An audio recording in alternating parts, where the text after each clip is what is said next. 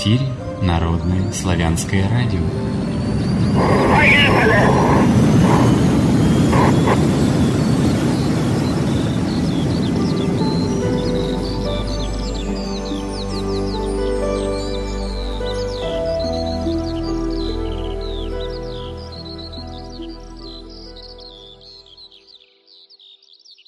Всем здравия! С вами Народное славянское радио. Сегодня у нас по одному из современных календарей 24 февраля 2016 года среда, по одному из старинных 34 день месяца Вьюг и Стужа, 7524 лета, неделя.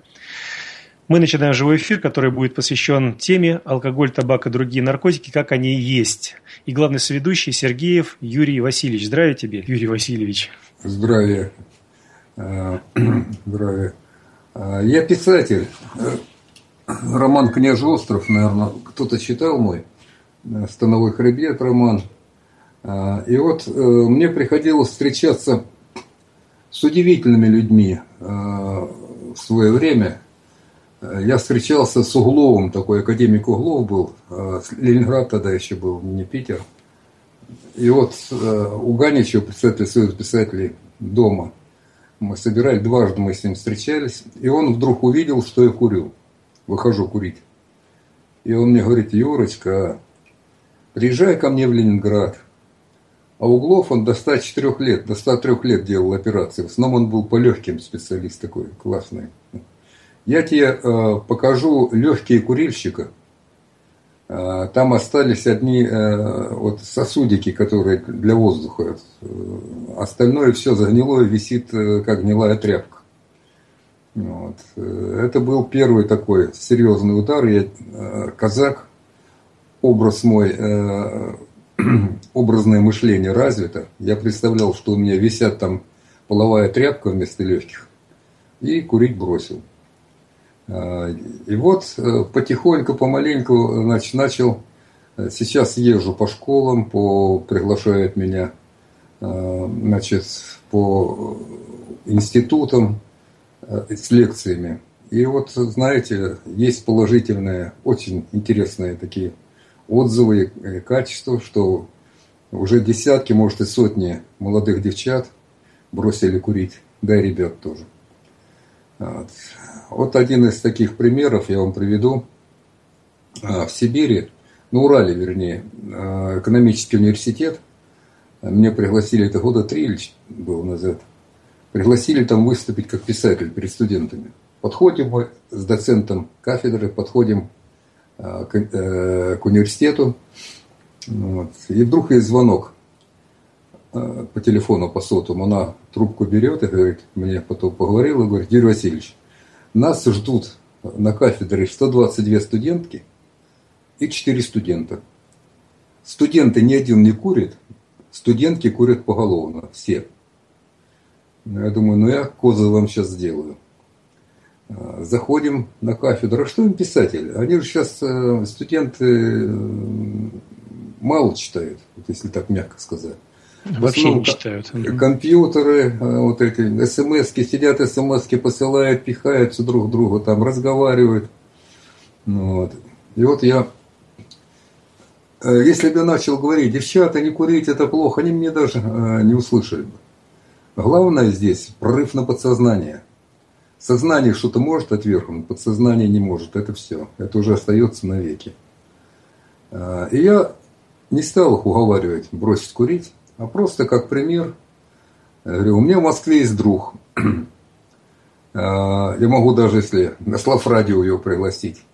Доктор наук, а, значит, Женя Долгорукий, мой хороший старый друг. Он хирург, гинеколог. Он отучил от курева с одного раза более ста молодых девчонок э, и молодых э, женщин. С одного раза.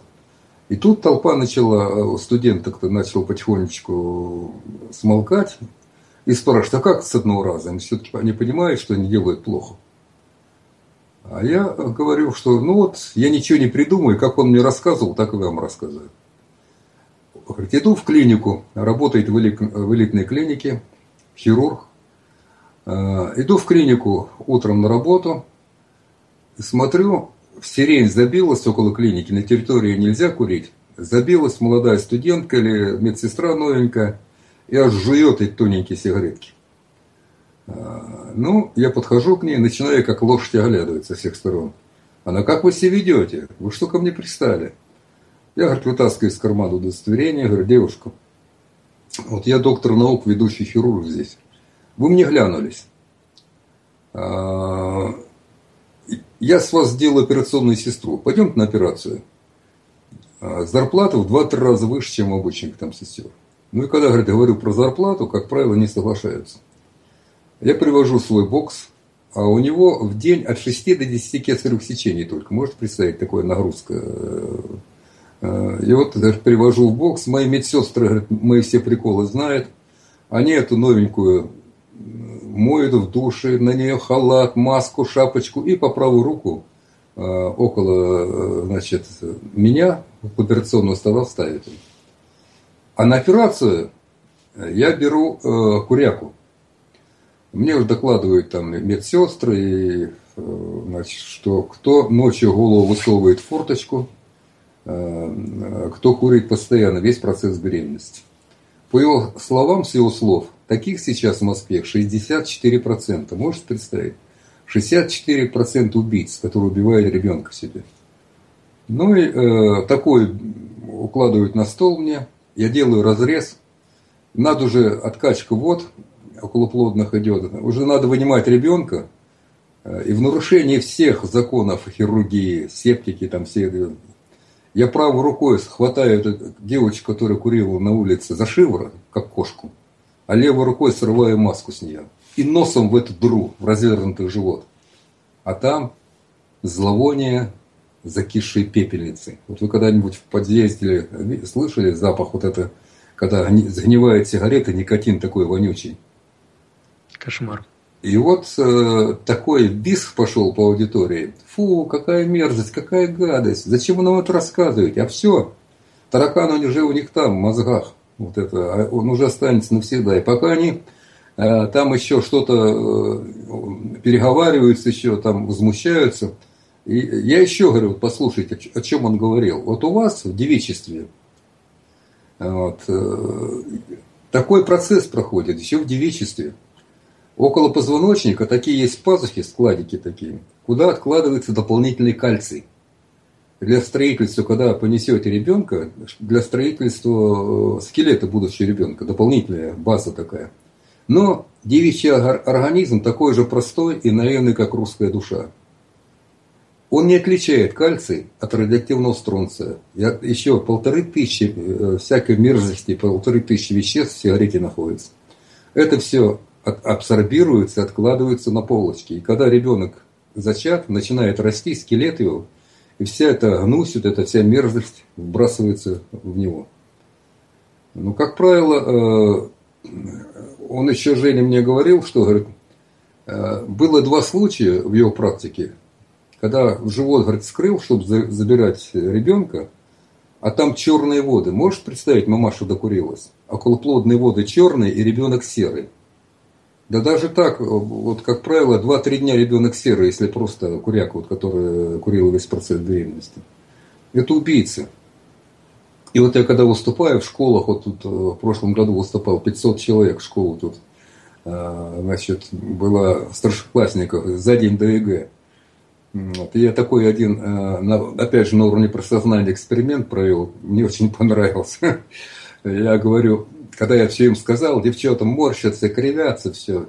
Я к ребятам, ребята, слушайте меня внимательно. Никогда не женитесь на девушке, которая курит. Это убийство вашего рода. Она вот никогда здорового наследника не родит. Вот. И вот тут-то девчата, знаете, как это уже сидят вокруг, женихи сидят. Вот, а такой ударом по Э, работает, работает эта вся система, вот на уровне подсознания. Э, мне очень многие говорили спасибо. Потом вот, я провожу семинары по золотому счету, вот золотой щит казачий спас на Хапре. Желающие приезжайте в этом году. За прошлом году у меня было на этом семинаре 5000 э, человек на показательных выступлениях. 48 казачьих хоров принимали участие. На берегу Хапра неделю живем с 20 2 июля по 1 значит, по 1 августа.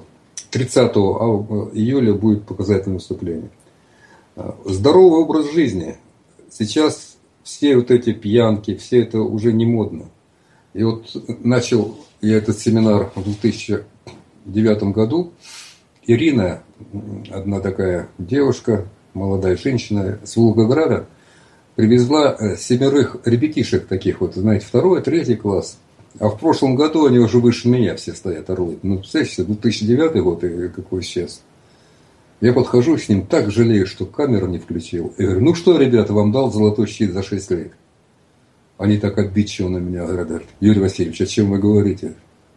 Мы живем в самом э, таком э, красноармейский район Волгограда, э, заводской район, где наркомания, где э, курево, где пьянка, все эти пиво, водки, всякое разное, самопальный это алкоголизм. Но мы ни один не курим с той поры, как побывали у вас наши друзья ни один не курит, и друзья наших друзей тоже ни один не курит. Можете представить? Мы создали моду. Вот. И, э, значит, они очень благодарны за то, что говорят, мы помним ваш завет, казак значит трезвый.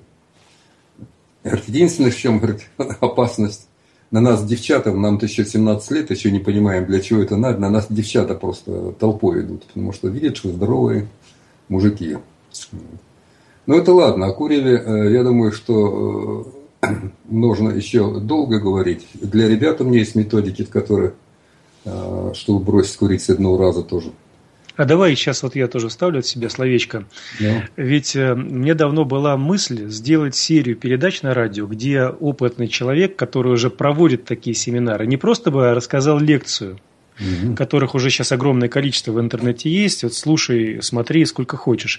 А провел такие мастер-классы для тех людей, которые также хотят включиться в дело по избавлению нашей страны и вообще нашего славянского мира от этой гадости и пакости.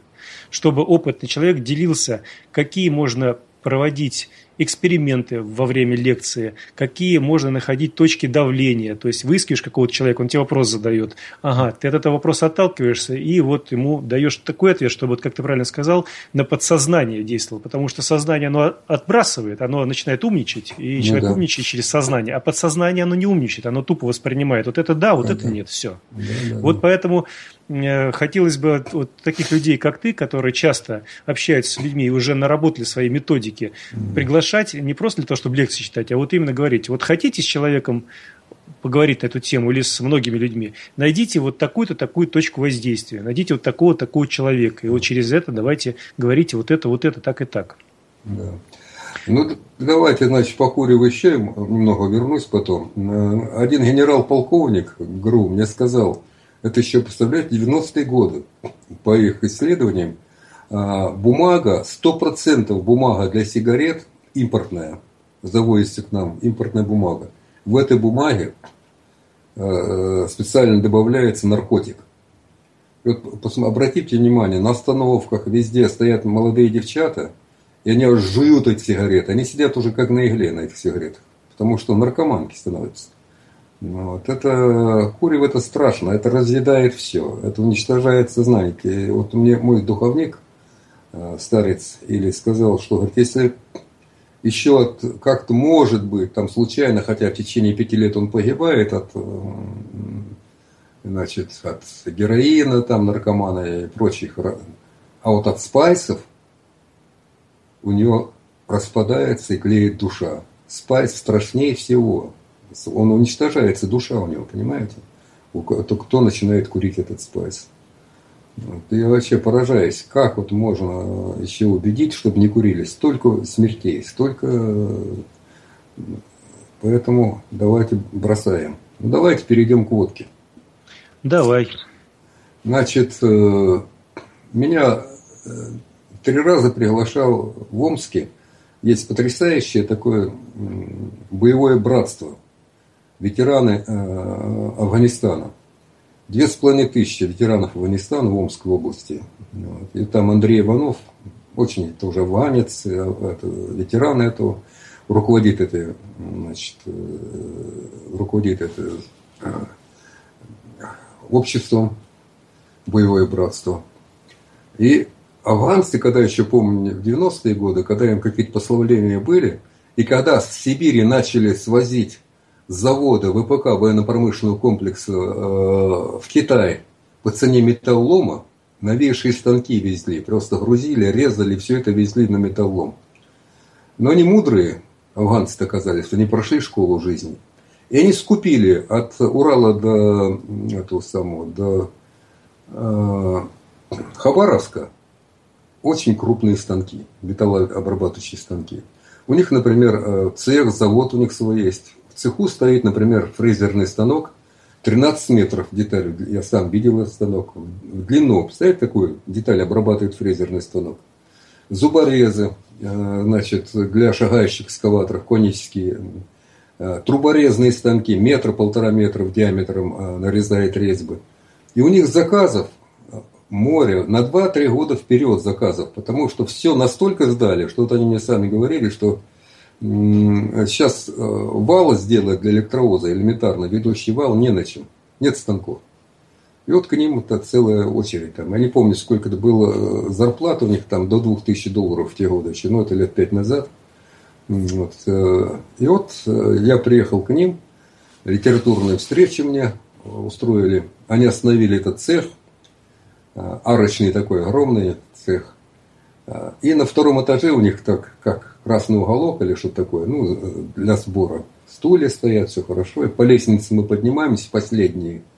А все работяги такие чистенькие, в халатиках, все. Лейбала у них такое, знаете, ну, современное все. Станки с, ЧПУ, э, с электронным управлением. И вот поднимаемся туда наверх.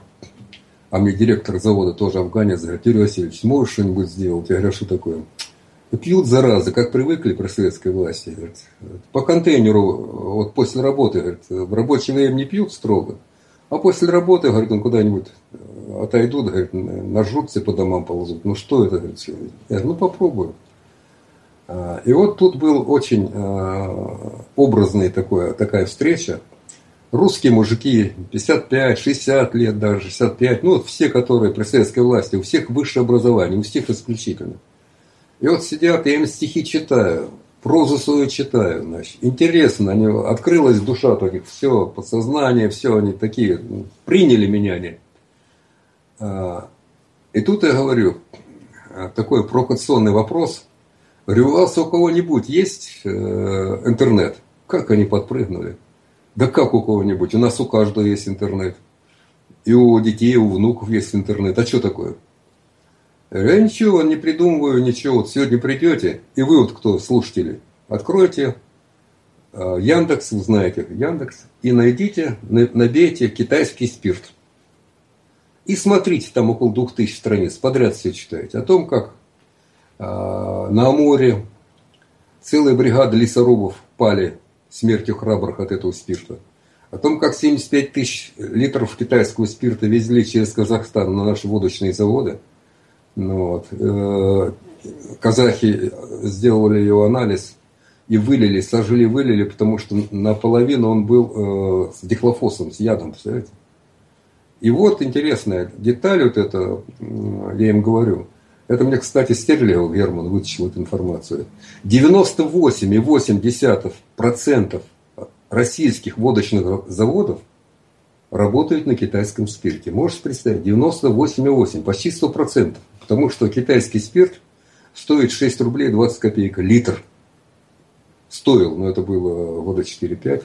Но я думаю, что он не сильно подорожал. И я говорю вот этим э, токарям, фрезеровщикам, говорю, как вы считаете, с чего делают китайский спирт? Они так притихли, один говорит, ну, с риса, наверное. А я говорю, да, китайцы вам будут делать с риса спирт. Вот вы там же в интернете прочтете. Я ничего не придумаю, не вру. И вы прочтете, слушатели. С человеческого говна делают китайский спирт. У них специально собирают это с дерьма человеческого. Можете представить? У них даже машины на этом ездят. На этом спирту. Бросают дрожжи и все, бродит такое же все. И вот представьте, какая энергетика, какая мерзкая штука. Наши мужики э, пьют это стаканами, вот эту э, гадостью с с этих, с, с китайской. И вот я этим говорю, афганцам-то говорю, так, представьте китайца Мао Цзэдуновского, может представить к вам спиной в синем комбинезоне, а что такое? Вот представили образ? Ну, представили. Ну. Он садится, снимает штаны, садится, вы ему стакан туда под зад, и полный стакан дрестуна, и пейте. Одного аж вырвал, аж выскочил с этого. Ну, ну это же э, мерзости поэт наших людей. Вот. И наши, какая тут такая беда просто, чума.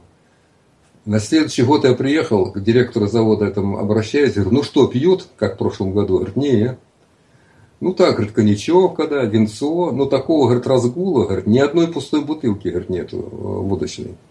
Ну, вот, проняло. Поэтому, э, дорогие радиослушатели, земляки мои, русские люди, посмотрите интернет, почитайте, что вы пьете на Новый год и вообще на все эти праздники придуманные. Ну, вот. Спилась уже Россия, особенно казачьи, что это кошмар какой. Это, я уже говорил в прошлый раз, что в стаканах атаман ставит стакан водки на шашку и пьет это, этот стакан с шашки, представляете? Шашка это было до революции белое оружие, святое оружие.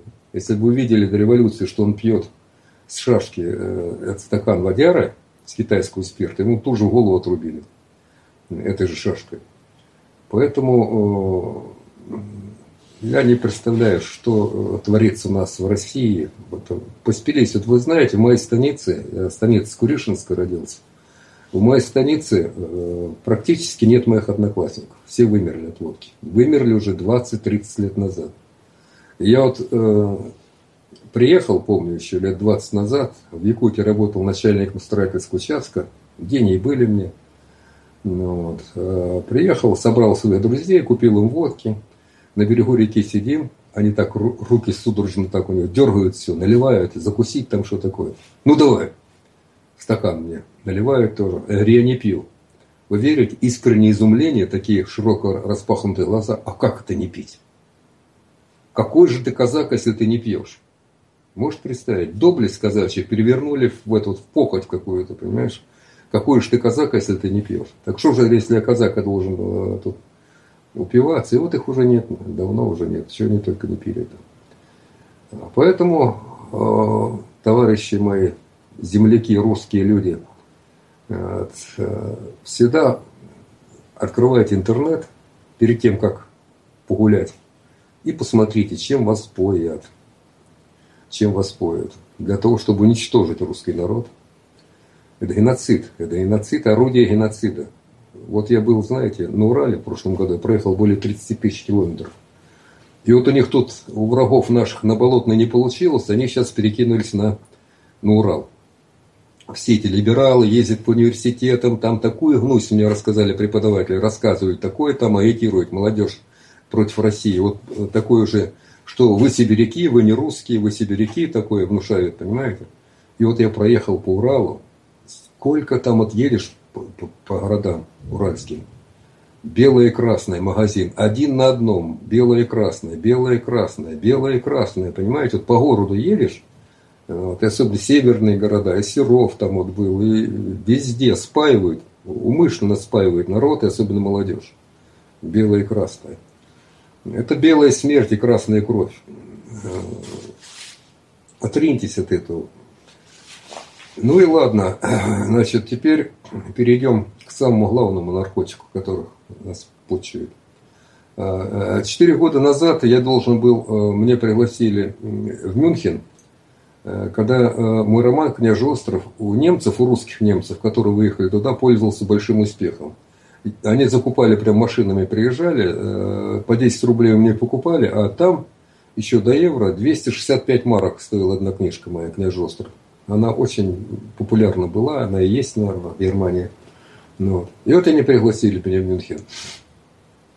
А девушка, ну как не девушка, она уже, она туда тоже 20 лет назад уехала, дочь там родила.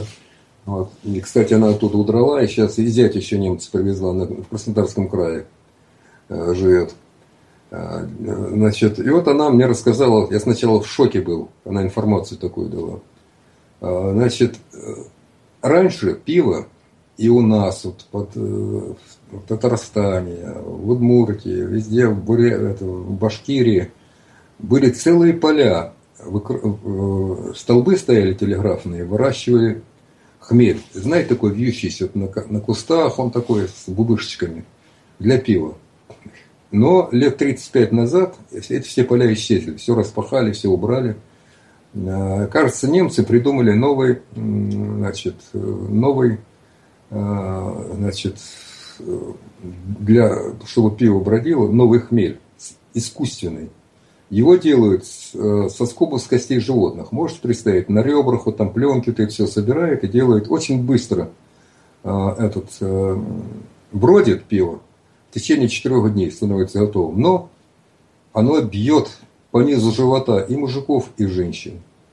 Вот. И мужиков, и женщин. Значит, э, женщины начинают грубеть, вот. мужчины начинают обабливаться, начинается живот расти, задница, груди растут. И э, вот с ее слов, это, представляете, пять лет назад, с ее слов, ну вот, статистика, вам привожу статистику, 40% немцев до 30 лет в Германии, молодые считают, до 30 лет, им полный импотент.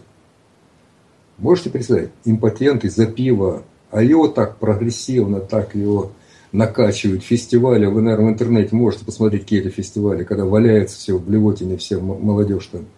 Вот. Это специально просто идет э, геноцид, идет уничтожение белой расы. А, и вот э, Тут приезжал один немец, я уж не буду его имя говорить, это не дай бог там еще им что-то сделают. А, мы э, встречались тут в фонде в одном. Потом он мне дома был. И вот э, я у него спрашиваю, говорю, Дим, а вот что это, правда что ли, 40% немцев до 30 лет импотенты у вас там в Германии? А он тоже 15 лет назад уехал э, с Алтая, и так искренне говорит, когда я уезжал э, в Германию, говорит, такая была пропаганда, я вас русских ненавидел. Я говорю, Дима, а почему ты нас ненавидел? А потому что вы нас победили. Я говорю, вот мы вас звали сюда со всей э, с Ордой. Мы их победили. А сейчас, говорит, ненавижу, говорит, там, говорит, ну, бесполезно все. Говорит, настолько все запуганы этими холокостами все никого не поднимешь, никого ничего не, бесполезно. Народ, говорит, очумелый, совершенно верит телевизору, верит вот этим всем э, пивным этим фестивалям, что это хорошо, что это там... Э, ну и, короче, я у него спрашиваю, ну а что, правда что ли, что не верится такая статистика, что 40% немцев до 30 лет импотенты? Юрий Васильевич, «А не 40%, а 80%. У меня, говорит, вот друзья уже в таком уже и, и гражданским браком, и так вот поженились, а бесполезно, не могут зачать ребенка. Потому что вот эти дрожжи э, уничтожают полностью детородность и способность рожать детей и у мужчин, и у женщин. И он мне спрашивает, вот как ты считаешь, очередь самая большая в Германии куда? Ну как куда? Не за хлебом же, наверное, все. К врачам-косметологам. Вы можете проверить это вот в интернете нам. А я как косметолог, ну почему молодежь туда ломится? Молодые парни, 23, 24, 25 лет, в очереди встает месяцами, чтобы отрезать все женские груди. Представляете, титки женские растут от пива от этого. И вот их, э, эти косметологи вырезают у них это все хозяйство. Вот. Поэтому э, еще он говорит, говорит, «А, он уже сейчас здесь купил землю, в России находится с семьей, у него трое детей. И говорят, что ты уехал? Вроде бы так все хорошо, у него там устроился хорошо, производство свое раскрутил. Мне Артерий Васильевич у вас вот ювенальная юстиция только начинается, только ее раскручивают. А в Германии она бушует уже во всю мощь. Вот можешь представить, я построил хороший дом, трое детей – два раза в неделю соцработники. А соцработники, это, представляете, у нас тоже такие есть, которые никогда не рожали, замужем не были. Ну, вот эти бабы, сатаневшие э, феминистки, заходят в дом, нас с женой ставят по смирно к стенке и шарятся своими грязными руками в наших холодильниках. Можешь представить? Наших холодильников. На каждого ребенка должен быть комплект продуктов. определенный комплект продуктов. Если там банки сгущенки нету, ребенка забирают. Э, короче, э, если комплект нарушен, мы уже говорит, специально лежачие холодильники с переизбытком специально закупали, чтобы только не попасть на эту. Вот. И вот он рассказывал, это три года назад э, в Германии был изъято из семей 1222 ребенка.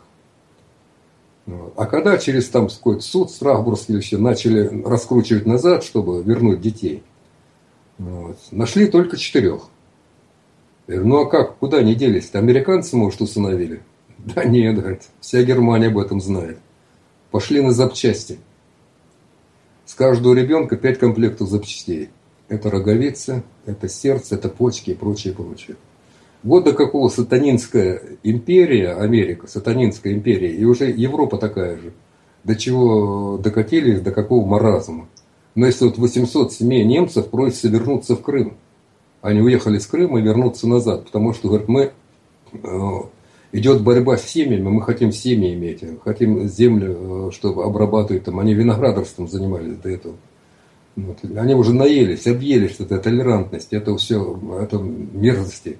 Вы представьте, в каких-то двух, я не помню, странах, вот смотрел, по-моему, Португалия, Голландия, э, в прошлом году их правительством приняты законы, значит, э, разрешающие матери спать с сыном, отцу с дочерью, брат с сестрой. Но самое модное сейчас, самое модное, в интернете тоже можете посмотреть, как 34-летний мужчина – значит, э, шестимесячный э, соитие у него с шестимесячной девочкой. Ну, представляете, ну что это такое? Это же просто сумасшествие, это бесовщина, самое настоящее. И мы вот нас укоряют, что вот мы там против этих голубых, против э, всяких, будем насмерть стоять. Вот, это против, противно нашему и духу, и нашим традициям, и нашим э, веру, вере нашей. Вот. Юрий Васильевич, давай прервемся на музыкальную паузу. Надо, чтобы мозги немножко остыли после ну. всей информации.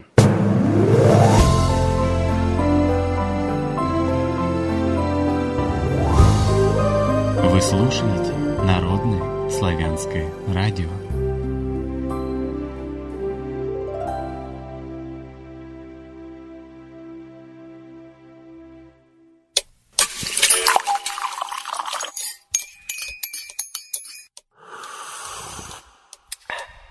Продолжаем разговор.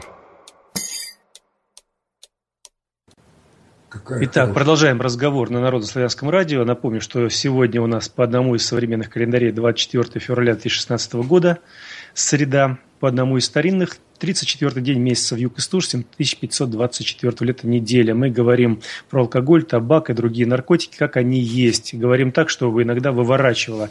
Даем вам возможность осознать самим и помочь разобраться другим, как надо жить по-человечески на этой земле. Главный сведущий Сергеев Юрий Васильевич э, рассказывает нам много чего интересного из своего опыта. Пожалуйста, Юрий Васильевич, продолжай. Какая песня прекрасная вот это сейчас? Э, кто это автор где можно списать? Или у вас на этом... Арт, арт-студия «Русское небо» на славянской земле. Арт-студия Славя... «Русское небо» называется. Так что вот ищите в интернете. Первый альбом у них вышел такой серьезный, вот несколько песен на себе скачал, благодарен им. Вот «Воины дух» у них там прозвучали. Я короткое стихотворение свое прочту на эту же тему. «Сквозь огонь и любую разруху, когда сердце уж чует беду, Поднимаются воины духа, и народ наш к победе ведут. Россия их помнит и верит, Богородица путь их хранит, Воин духа коварного зверя, как Георгий копьем победит.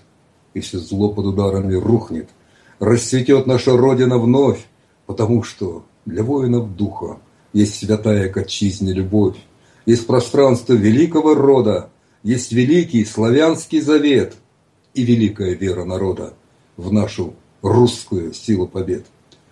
А, понимаете, а, вот когда а, пьяные застолье, банкет тут и все прочее начинают говорить о России, о политике вообще-то, о родине, об Отечестве святом, которое для меня это просто святыня. Ну какие э, могут быть пьяные политики, какие может быть русские пьяные? Русский значит трезвый. Э, русский, значит, семьянин, э, хорошая семья у него, дети, воспитание идет нормальное все. А это пьяные бредни, все, бред. И вот знаете, я в Якутии вот тоже работал буровиком обычным все, там и матерился, потом что-то меня как отсекло с этим матом. А, ты вот приехал туда, встретился с своими друзьями бывшими, сидим за столом, вот они эту водку хлещут, мат стоит невозможный. Я так, значит, начинаю о чем-то интересном рассказывать, что там о литературе, все. Они на меня вытрачатся, потом отмахнулись рукой. И опять. Но о чем разговор? Вот в компании в пьяной, послушайте. Когда с кем выпили, где достали самогонку, у какой бабки они там все прочие. И хохочут, им все это так интересно. А здоровое что-нибудь такое интересное, что им, им это напрочь не нужен. Потому что ничего не читает, ничего не знает. Понимаешь, это как э, какая-то, не знаю, плесень или чума. Поэтому, э, ребята, особенно девчонкам, вообще ни грамма пить нельзя. Вы почитайте, что если девушка раз, два, три выпила, то все, уже у нее ребенок будет с тараканами. А потом будет в интернете писать странички «помогите, помогите». Вот. Надо пить. Э, не пить, вернее, вообще нельзя. Ну да, а потом появляется объявление «Помогите Алешеньке на дорогостоящую операцию». Ну да, да, да. Потому что, а... ну что, э, квасят, э, а потом начинается. Вот. И вот еще мы с тобой были, интереснейшая встреча, помнишь, это был круглый стол? Ну да, был, да. Был Жданов. Я вам всем советую, люди милые, русские люди, а, найдите в интернете, все просмотрите, все фильмы Жданова. Это великий человек. Он сотни, уже тысячи людей отучил от этого, от запоя. Вытащил, может быть, на белый свет. Промыл им глаза. Кстати, глаза он восстанавливает, и зрение. Удивительная технология, удивительная э, практика у него. Жданов, это, я его знаю еще с 70-х годов. Ну, вот, в Новосибирске с ним встречался. Э, вот он, он работает потрясающе, потрясающе. Вот. И э, вы знаете, это же не, не проходит бесследно.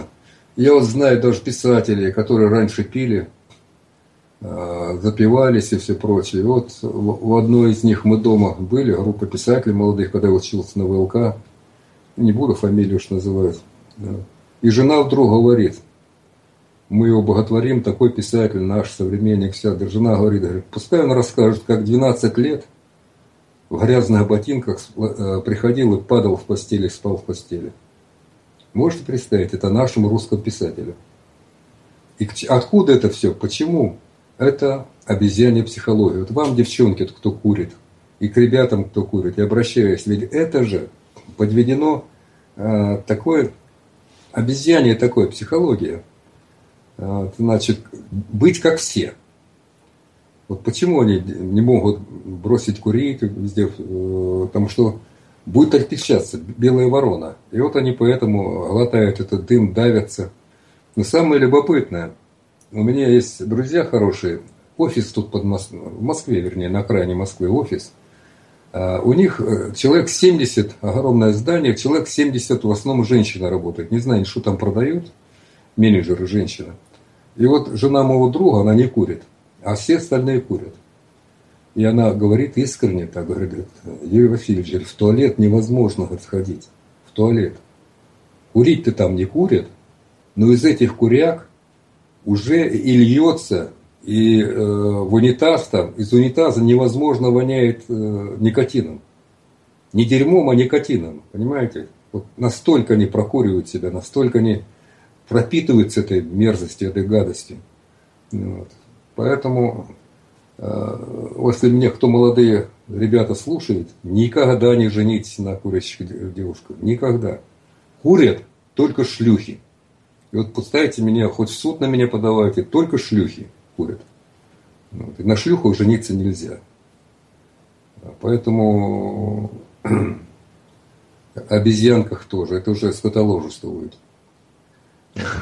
Вот за это тебя могут уже точно как-то пригласить на, на такой уютный, в уютный кабинет для интимного общения, разговора. Сказать, что это там ты про наших друзей животных сказал? Да, не обижайте животных, обезьянок. А вот знаешь, это я смотрел сегодня телевизор, готов спрячь, думаю, надо о чем-то так поговорить, посмотреть, что там в мире-то делается. Ну и там про Сирию говорили, про много другое, Каддафи показали. Mm-hmm. Вот. И мне в голову пришла поговорка. Вот у нас есть русская поговорка про то, что сколько волка не корми, он все равно в лес смотрит. А у них есть поговорка, сколько обезьяна не корми, она на пальму залезает. Да. Так вот, очень интересно, ведь когда Каддафи говорил, что если вы убьете ну, вот нас, то mm. тогда Европа вот вся задохнется ну, в иммигрантах, потому что как раз мы их сдерживаем. И да, над ним да. все смеялись. В принципе, президент Сирии тоже над ним смеялся, когда он выступал. Ага. Вот. А сейчас сидит, плачет. Э, вот как раз этой серии «Сколько не корми». Да. Так вот, э, получается, что кого уже додавили, ты вот про Германию рассказывал, додавили их там вот этой толерантностью, да, mm. мультикультуризмом так называемым. Теперь они сами там все-то рыдают. А восстают-то кто, обрати внимание, изнасиловали девчонку, русские поднялись, которые русские немцы, или mm. у кого папа русский, или мама русская, да, вот которые такие, или приехали mm. туда. Они поднялись, взяли просто в руки орудие пролетариата, пришли в эти вот общаги, где там все происходило, и всех там поставили. Mm позицию да. правильную. Да, да, да. И все, и там больше безобразия не происходит. А он в Мурманске смотрел, на, наши ребята, а, в баре каком-то или там танц, танцплощадка пришли эти мигранты и начали к девушкам приставать. Но ну, мурманские ребята не знают, что такое толерантность. Они их на улицу вывели, как дали бздюлей. Ну вот, и все. Говорят, это вам не Кёльн. И все сразу успокоилось. Все претензии на русских э, девушек. Так что Нет. про обезьянок мы не будем животных обещ... обижать, мы говорим про других обезьянок, да, которые на пальму залезают, им дай только возможность. Поэтому вот таких обезьянок надо держать или на привязи, или в каких-нибудь заведениях э, сетчатой конструкции, или э, конструкции, через которые там прутья, например, где вот, ну, решетки, грубо говоря. Вот да, вот с такими только так, потому что по-другому не понимают. Идет война с нашим народом, и уже давно идет. Вот помните вот фильмы 30-х годов, 40-х годов? Вот. Хорошие фильмы, но смотрите, в комнатах все с папиросками сидят, все актеры с папиросками, женщины с сигаретами с длинными. Понимаешь, мы-то еще тогда не знали, не осознавали, а все делается через моду. Модно. И вот эти девчата начинают курить, потому что им внушили, вбили в голову, что это модно. Что это... И вот это же э, немец, который приехал из Германии, которого мы встречали здесь. Ну, у Левашова там. А, значит, э, и он говорит, говорит, Юрий Васильевич, я приехал купить в Москву мужские джинсы. Я говорю, что в Германии нет мужских джинсов? Нету. Или, говорит, э, на джинсах шири, это, ширинка ниже колен, мотня ниже колен, как модно. Или там, э, значит, пуфики какие-то торчат такие с намеками на это. Ну, вот. Или вообще, ну нету мужских. Или в такое, знаете, э, якобы у него огромное там хозяйство такое, как полуфутбольный мяч спереди на ширинке, такая тряпка. Вот. Э, специально же, и это делают все как модно, и народ начинает вестись на это дело. И вот курить модно, значит девки курят, девки одна в одной стреляют. Вот. Они могут осознать, что это смерть. На старости лет будет у них вот такие будут страшные вонючие, э, вонючих детей, во-первых, рожать. А вот ты заговорил про телевидение, да, на самом деле посмотреть старые фильмы, и мы что там видим? Мы видим как раз именно упор на то, что все положительные герои, они сидят и дымят. Какими там, э, ну, не знаю, там офицеры, да, сидят, разбирают какой-то план серьезный и постоянно mm. угощайтесь, товарищи офицеры, там, да, вот, да, Казбек, да. вот там Памир, пожалуйста, угощайтесь, да, любимые да. сталинские сигареты, все там, да, рекламировали в те времена. А, вот. А, ага. а вот, 90... а... Ага. А вот когда сейчас я просто закончу, да, а, к чему это привело? Помнишь замечательный фильм, от которого каждый раз, когда смотрю, меня так вот пробивает, так торкает, в бой идут одни старики. Да, ну, да. насколько он прекрасный фильм, да, насколько да, он да. вот о жизни. Но заканчивается-то он чем? Там есть две сцены, когда поминают погибшего летчика, и стоит, даже не две, три, три раза упоминается, когда стоит стакан полностью налитый, так называемый, ну, там даже не 100 грамм, там 200 грамм, и сверху ну, да. кусок черного хлеба. Это встречается, когда одного сбивают, потом на могиле другого, и потом там третий раз. Угу. Так вот, э, смотрю опять же те же самые поган... Э, новости Паганусы наши. И что я вижу? Мать плачет о том, что вовремя медсестры не приехали, вовремя не забрали ребенка, школьника, первоклассника, mm и он умер. Там ехали по другим каким-то местам, куда-то завозили, и в конечном итоге умер. Ну, потому что просто медсестер не хватает, просто машин не хватает. mm Дело не в этом. Так вот, когда показывают этот сюжет, плачущая мама сидит, на столике стоит фотография ее мальчика, и рядом стоит стакан с белой, с прозрачной жидкостью и сверху кусок белого хлеба. Ну вот видишь, опять делают нас э, просто э, под моду подводят, и народ наш наивно что-то передовое. Что это вот как у нас при советской власти э, к Европе лицом-то разворачивали все. Вот там все хорошо, там прекрасно, там все. Делают это, например, последние 90-е годы, да и сейчас до сих пор. Этих про ментов фильмов уже такая тьма, уже тошнит от них. Но они беспрерывно пьют там. Ну, значит, они, а, а, а, а, сейчас это куда-нибудь спрячем, звонил телефон давай. Ну, пьют, посмотри, какая реклама идет водки. И я слышал, вот мне специалисты говорили, что специально сигаретки показывают, поэтому э, этикетку. И за это дело очень э, здорово отваливают э, фирмы вот эти. Ну, поэтому надо внимательно анализировать, надо анализировать, чем нас уводят в сторону, чем нас совращают. И вот через моду очень много для молодежи, для нашей. Вот. Я думаю, что следующая, может быть, наша встреча будет о музыке поговорим. Угу. Вот давай еще коснемся еще одного момента. Вот мы с тобой не просто так заговорили о том, что поминают со времен войны повелось, что наливают стакан, сверху вот кусочек хлеба. Да. И вот давай сейчас коснемся той темы. А что говорят наши древние традиции, христианские, ведические традиции, и вообще вот в русском народе, как раньше поминали усопших, что раньше наливали какую-то сивуху и клали кусочек хлеба, откуда это появилось, это первый вопрос. И второе – а что происходит с тем человеком, ну, с душой человека, который уже ушел в мир иной к праотцам, и его вот таким образом поминают. Вот давай этой темы коснемся. Ой. Чтобы, может быть, как-то объяснить людям, что это дурость, это глупость. Я же, когда писал роман «Княжество», проработал очень много материала. Ну, вот, интересного материала, ведического, зачерпнул оттуда, с тех еще.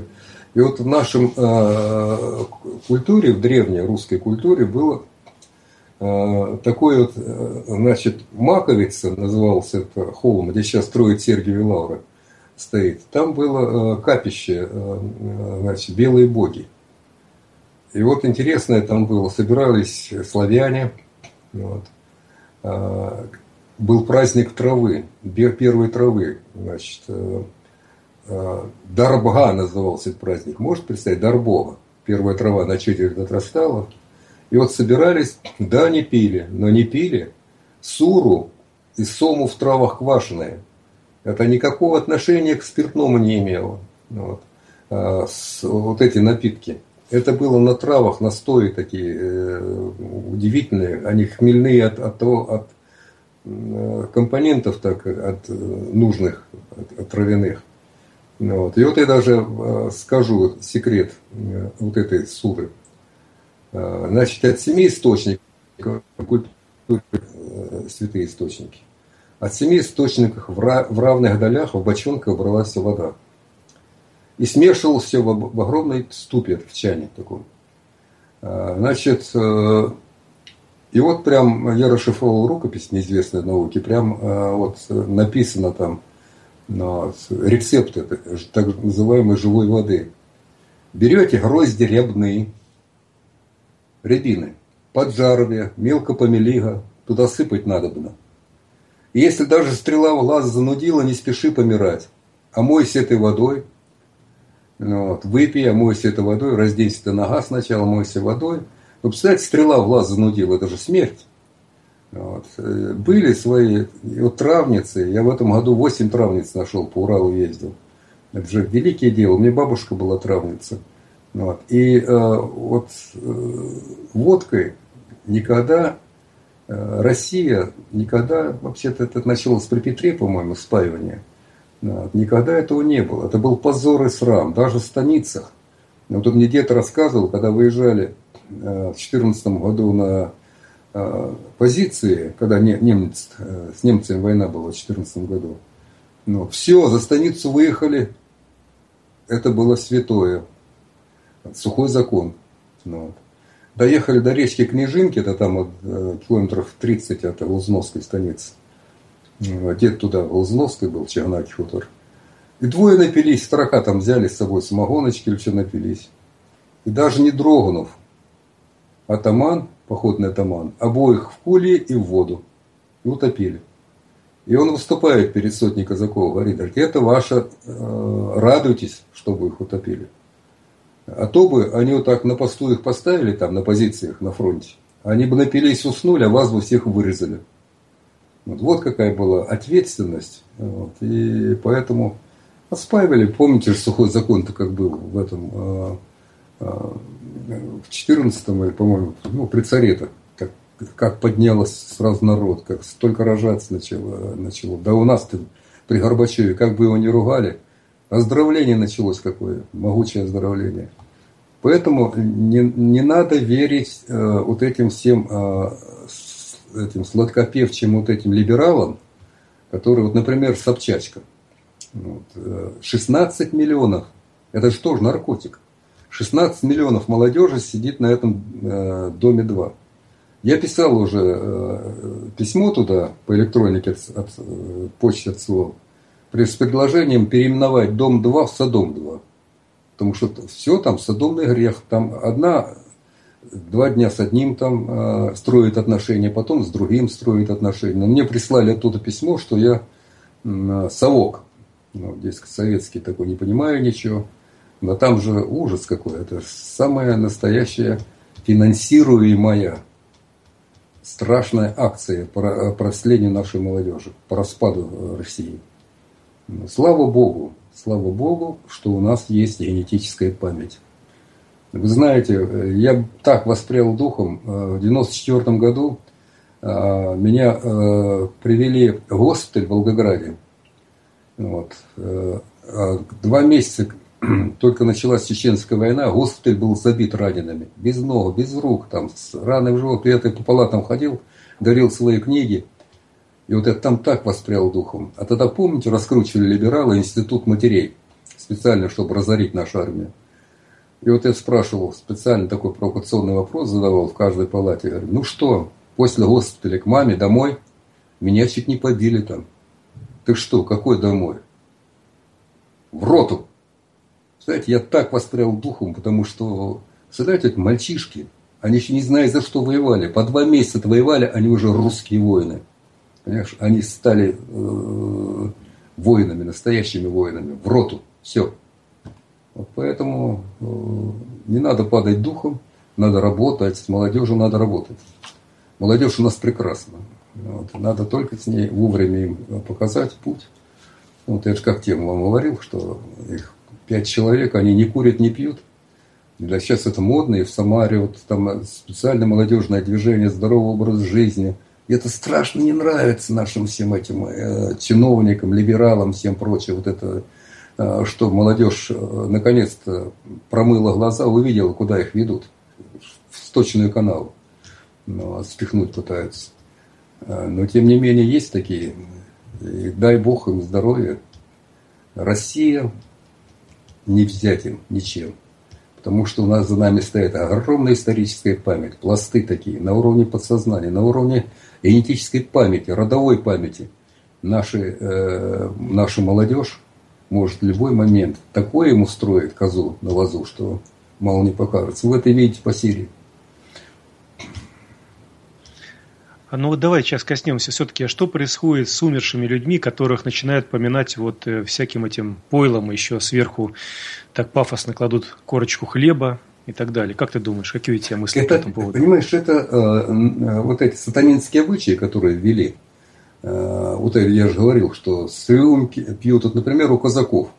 Вот э, такие, это уже до революции этого не было. Вот стременная рюмка надо выпить. Это якобы жена подносит, и вот он э, пьет у стремени. Потом закурганная. Э, закурган, там любовница ждет, еще ему рюмку наливает. Какая закурганная? У нас же на Дону был в основном кулугуры староверы. А с, с, этими, с любовницами там очень просто. Просто землю закапывали живьем и все. Потому что это семейские были, староверы. Ну вот. И поэтому это просто вот ввели такую моду. Ну, вот, недавно э, я бился почти пять лет у себя там на, на родине, когда проводил семинары. Глава администрации, значит, хороший вроде мужик, нормально все, но старый, сейчас, слава богу, новый пришел, вообще потрясающий человек. Э, значит, вот конец кончается этого семинара, у него глаза вылупят, все, банкет. Я говорю, какой где на банкет? У меня дети там 136 человек, какой банкет? Все равно меня вызвали в район, я приезжаю, на 80 человек столы накрыты. Ну, вот, и сидят дети за столами, представляешь, водка стоит. Вот понимаешь, вот эта якобы традиция или привычка, ну это же специально делается, чтобы растлить, развалить, споить нашу молодежь. И что получается? Вот казаки у нас на Дону там, они не могут без этого. Да и не только на Дону. Вот как только какое-то мероприятие, там, э, круг и все прочее, потом пьянка повальная. Это сделали какой, как обычай уже, как бы традиционное э, такое. А я считаю, что это не обычай, а просто на уничтожение идет на убиение русского народа, казачества в том числе. Вот. И не надо наливать, э, тем более ребенку, стакан с водкой, хлебушек – на фронте это, может быть, да, было. На фронте. Но сейчас надо от этого отвыкать. Но опять Зна... же, на, на фронте же это тоже как-то, наверное, специально делалось для того, чтобы побольше народу слить. Потому что вот как я разговаривал со многими ветеранами, которых уже нет э, живых, но вот довелось мне еще в мальчишестве поговорить. Mm. И многие об этом упоминали. Задавался вопрос, а наркомовские 100 грамм? И многие отвечали, говорят, да, это было, но это было в том случае, когда э, вот что-то очень-очень ответственное было. И потом, когда я уже разговаривал, они вот так вот мне уже на ушко говорили, понимаешь, в чем дело? Водка в те времена, она была на вес золота. Ее просто так не пили. Потому что ранили тебя, вот чем, например, дезинфекцию ты проведешь? Ну, да, да, да. Ведь не было тех средств, которыми дезинфекцию сейчас проводят. Ведь пенициллин, тот самый знаменитый, он появился уже не в начале войны, он где-то уже ближе к концу, 42-й, 40, ну, 43-й год, скорее всего, он стал появляться в широких массах, а наши уже его начали производить. Вот. А до этого-то не было ничего. Ну, да. Э, контузил, там что-то еще, где-то кто-то попал в какую-то передрягу, надо чем-то срочно загасить. Водка была на вес золота. И поэтому, э, поэтому не пили ее. Первое. А второе, офицеры стали подмечать, что как только 100 грамм перед боем выпивают, то тогда идет потери очень большие, идут потери очень большие да, да. в строю. И поэтому офицеры стали уже сами проводить пропаганду. То есть, говорит, вот ваши наркомовские 100 грамм, вот вернетесь, если пить захотите, выпейте. Угу. То есть правильно, многие уже правильно. так поступали. И мало того, один дед мне рассказывал, угу. он говорит, я тогда еще был молодой. Мы только-только новобранцы пришли на фронт. И вот эти 100 грамм разносят, там все свои значит, фляжечки подставляют, mm вот, им по 100 грамм плескают, а рядом со мной дед. И, значит, и он тоже фляжечку подставляет и убирает ее. Говорит, дед, а ты что не пьешь? Он говорит, ну, если ты дурак, выпивай, я тебя похороню. Если ты умный, делай как я. И вот э, что, говорит, я сделал тогда. Я задумался, а почему дед-то, который финскую прошел, угу. который воевал на Ханкинголе, там, да, везде его помотало, он угу. уже такой опытный дед-то, и почему он не пьет? И я не выпил в этот бой.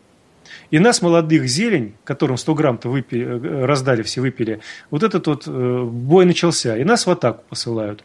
Так я потом посмотрел, сколько нас вернулось.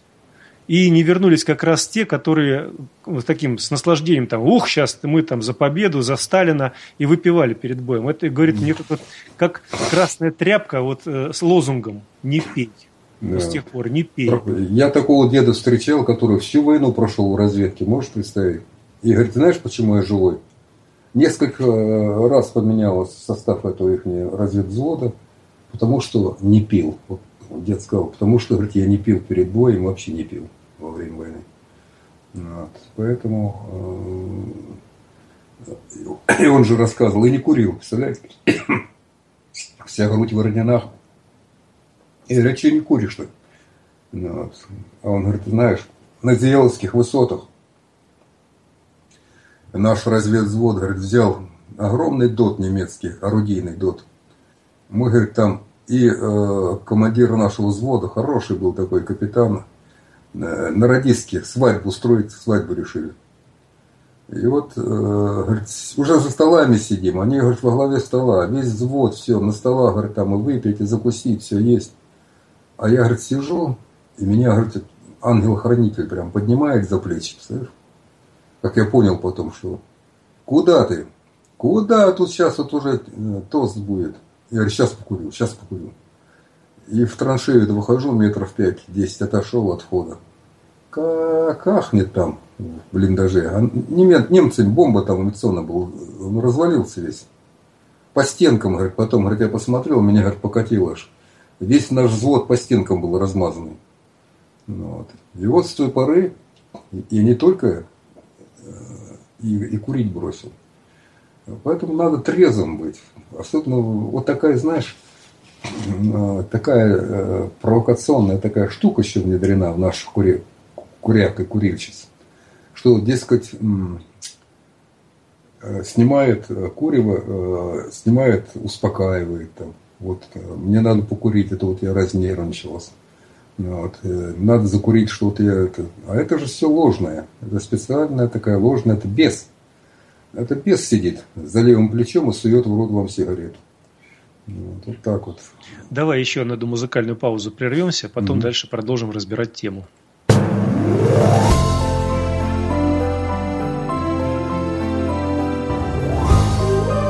Вы слушаете Народное славянское радио.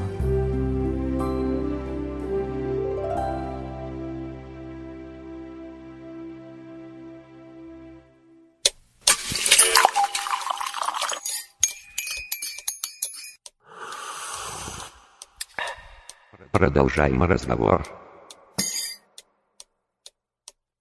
Продолжаем разговор на Народном славянском радио. Напомню, что по одному из современных календарей 24 февраля 2016 года среда, по одному из старинных 34 день месяца вьюг и стужа 7524 лета неделя. Алкоголь, табак и другие наркотики, как они есть. Сергеев Юрий Васильевич, главный соведущий. И все-таки вот э, я хочу поделиться своим таким небольшим опытом. Общался я с разными людьми и с христианскими батюшками, и с ведунами, и с шаманами. Ну, шаманы там немножко другой разговор, но все-таки те, которые, вот, скажем так, со светлыми больше работают, те говорят однозначно, ни в коем случае умершего не поминайте алкоголем. Ни в коем случае, потому что там очень плохо происходит. Я тогда еще не разбирался в этом вопросе, это было давно. Задал вопрос, а что же там происходит? Ведь вот в Отечественную войну вот это вот все рассказал. Говорит, да, это все нововведение, и с этим все понятно, этого не было никогда. А происходит там вот что – Дело в том, что любой наркотик, любой наркотик, он переводит состояние человека в бесовское, в демоническое состояние. То есть им начинают управлять демы, демоны, потому что любая мысль, она не просто так появляется у человека, она появляется исходя из той ситуации, которая вокруг человека есть, исходя из тех мыслей, которые э, люди вот сейчас мыслят. И демонические сущности, демонические вот эти структуры, они как раз начинают легче управлять человеком, подбрасывая вот эти мысли. И чем больше вредных, низких мыслей, тем проще человеком завладеть. Поэтому структура всех наркотиков, она в первую очередь э, направлена на то, чтобы мысли человека э, уничтожать, потом, чтобы генетику уничтожать и полностью завладеть человеком, его окружением.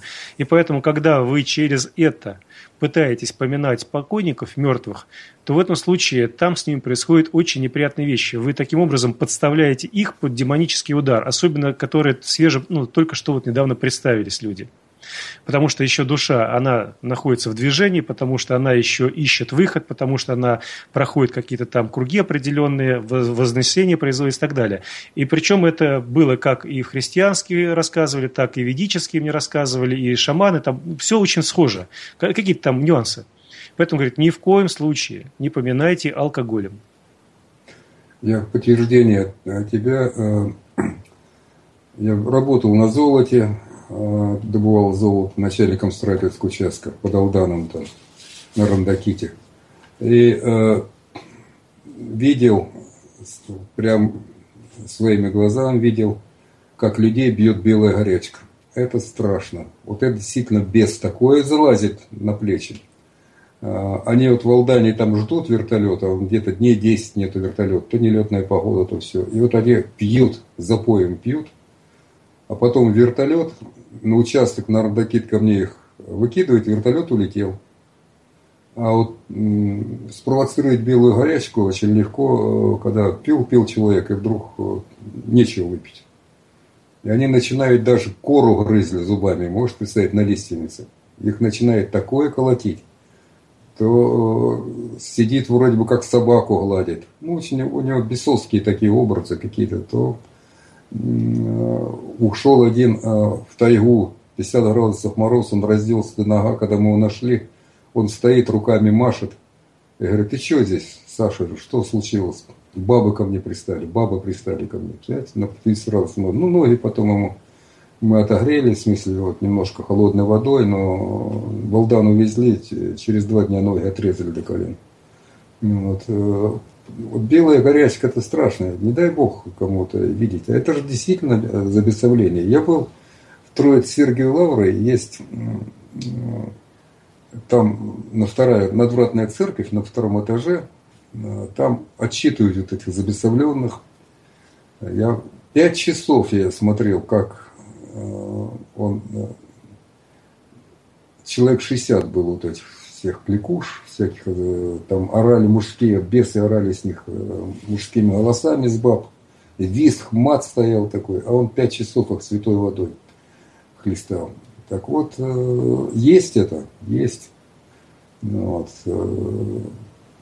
Потом он меня ум спрашивает, когда я спускаюсь, он всех провожал, а ты что сюда приперся? Я говорю, да вот я болящую привел.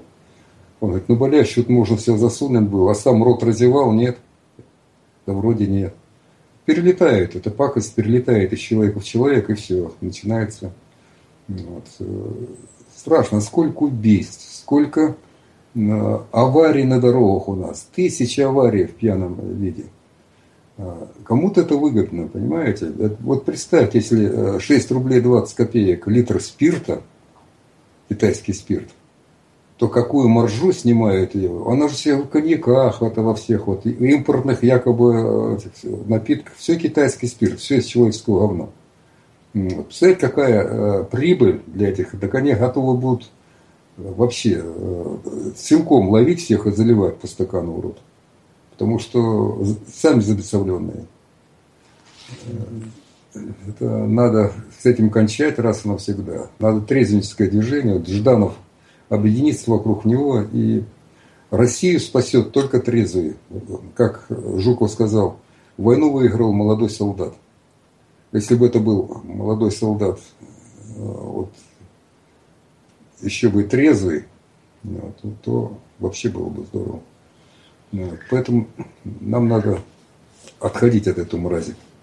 Вот смотри, когда ты рассказывал про то, как курят в различных учреждениях, то мне вспоминается э, сразу такой пример, когда один человек пришел к директору угу. и говорит, у тебя курит много. Он говорит, ну и что, пускай курит. Что я запретить, что ли, должен? Он говорит, если ты разумный человек, если ты умеешь деньги свои считать, ты запретишь. Ой, да ладно, ну что ты рассказываешь? И вот он начинает рассказывать. Вот смотри, у вас есть курилка. Он говорит, да, есть. Вот я специально не поленился. В начале часа прихожу, выбрасываю все сигареты в помойку и ставлю чистую пепельницу. Через 30 минут подхожу, достаю сигареты на стол, считаю, сколько сигарет. Там, например, 40 штук выбросил. Опять пепельница пустая. Через полчаса прихожу, считаю, там 50 штук выбросил. И вот так в течение рабочего дня я это делал. Приходил и посчитал, сколько у тебя каждые полчаса э, прокурено времени. Говорит, какого времени? Ну, ты посчитай. Вот идет, например, девушка или парень курить. Он же не сам идет курить, он кого-то зовет. Во-первых, он оставил свое место, он не работает у тебя в этот момент. Он идет к своему другу или знакомому, ну что, пойдем покурим. Да сейчас, сейчас, сейчас, я дело сделаю. И вот стоит, ждет, пока она дело сделает, да, там, да. Сам при этом не делает дело свое. Так, та закончила, вот они идут вдвоем. Может, третьего еще прихватить таким же образом. Дальше. Они выходят в эту курилку. Начинают там курить. Ну ладно, просто там затянулись, там пять затяжек бросили, побежали на рабочие места. Нет. Это по русской традиции. А потрендеть, да? Они же еще разговаривают, там как это, девушки ноги скрещивают, на груди руки скрещивают и стоят там умничают, да, дым пускают. Вот, покурили, дальше что они делают? Они тихонечко, не торопясь, идут на первый этаж к кулеру или кофе, начинают после этого кайф догонять. То есть или кофейку, или чайку крепкого выпить надо, да, обязательно. Дальше после этого они друг друга провожают по офисам, садятся. После этого им надо прийти в себя. Они сразу в себя не приходят. Еще минут пять уходит на то, чтобы прийти в себя, вспомнить, что они делали. И только после этого начинается процесс э, дела производства. Вот считай, говорит, пять минут сборы. Это в лучшем случае сборы. Минут пять – это само курение – еще минут 5 это выпивон кофея, вот уже 15 минут, и еще минут 3-5 это отходняк. Вот считай, минут 20 ты теряешь. А ведь каждые полчаса у тебя набирается новый комплект сигарет. Угу. Вопрос, кто у тебя работает? Да, Директор, да, да, когда это, и говорит, а я теперь в Excel, просто такой программист, он в Excel mm. посчитал все дело, говорит, а теперь посмотри, 40 чинариков, это, грубо говоря, там у тебя покурило столько человек. 50 чинариков, столько человек. Умножаем. И он умножил. Когда тут посмотрел, сколько у него в день работают, да. он за голову схватился. А теперь говорит, как же мне быть? А говорит, а очень просто. У тебя курилка где? Он говорит, ну как где? Вот как выходишь сразу из проходной офиса, сразу здесь курилка. Он говорит, то есть все люди проходят через курильщиков. Он, да. Говорит, ну, благодарности надо выписать от фабрик, которые сигареты производят, потому что даже не курящий, проходя, он одышится, и потом для него это будет норма стать курить. Да, да? Даже человек, который не хочет курить, он все равно станет за компанию, закурит. Молодец, говорит, отлично. А вот теперь, говорит, что надо делать? Выносишь, у тебя же, говорит, проходная система, там прикладывают эти вот жетончики, там, да, карточки, то есть видно, когда вышел, когда ушел. За пределами проходной ставишь этот, как это, пост, грибок такой. Ну-ну. Вот, в лучшем случае, а то и без грибка обойдутся. Ставишь там место курения, пишешь, ставишь там пепельницу большую, и все. И в конце рабочего дня просишь, чтобы охранник тебе выдавал по каждому человеку, который курит, сколько ну. он времени проводил на улице. здорово. Ты что ты думаешь, они ввели этот график? Он говорит, а как мне поощрить тех, кто ну, не будет курить? А очень просто. Ты же будешь штрафовать тех, кто у тебя прогуливает, а это прогулы. Ну, да. И будешь эти деньги просто делить между теми, кто не курит. Да-да-да, на золото, через, как мы делаем. Да, и через какое-то время, где-то, говорит, проходит время, где-то полгода. Ну, сначала там были визги, крики, дискриминация. Говорит, не нравится? Пожалуйста, вот вам дверь, проходная, карточку сдавайте, пишите заявление, да уходите. Да. Через полгода у него половина уже не курила, Ага. Э, те, которые курили, они уже никого не ждали, они быстро, как крысы, выбегали на улицу под этим дождиком, под снегом, быстро, быстро, быстро растянулись, плюнули, там бросили и обратно. Ну, да. Но при этом висел у него приказ, что в, на территории предприятия курение в любых местах запрещено. Штраф там 5000 рублей. Да, да, да. да. Молодец, молодец. Через год у него курильщиков осталось там, ну вот по пальцам можно было посчитать. И когда он говорит, я пришел, вот этот человек рассказывает, пришел, посчитал вот это вот в пепельнице, я там насчитал что-то там то ли три, то ли четыре бычка за полчаса. Ну вот сравните. Да, да, да. да. Ну, это, понимаешь, опять же, вот эта мода, что вот якобы это все пообщаться, потрындеть. Ну, ладно. Ну что, у нас здесь вопросы есть. Давай по вопросам пройдемся. Давай, давай. Итак, переходим к вопросам от наших любимых радиослушателей. Первый вопрос поступил от Владимира Измытич. Юрий Васильевич, когда дарят э, недешевые подарочные коробки алкоголя – как корректно отказаться от таких подарков? Или взять и передарить другому, или в бачок стеклоомывателя залить? Вот в бачок стеклоомывателя. Это без, без, без разговора, только так. А, потому что подарить другому, это будет... Я даже, знаете, один атаман меня поздравляет вот э, в этом в одноклассниках, бабах мне к какому-то юбилею, там бутылку коньяка, рисунок.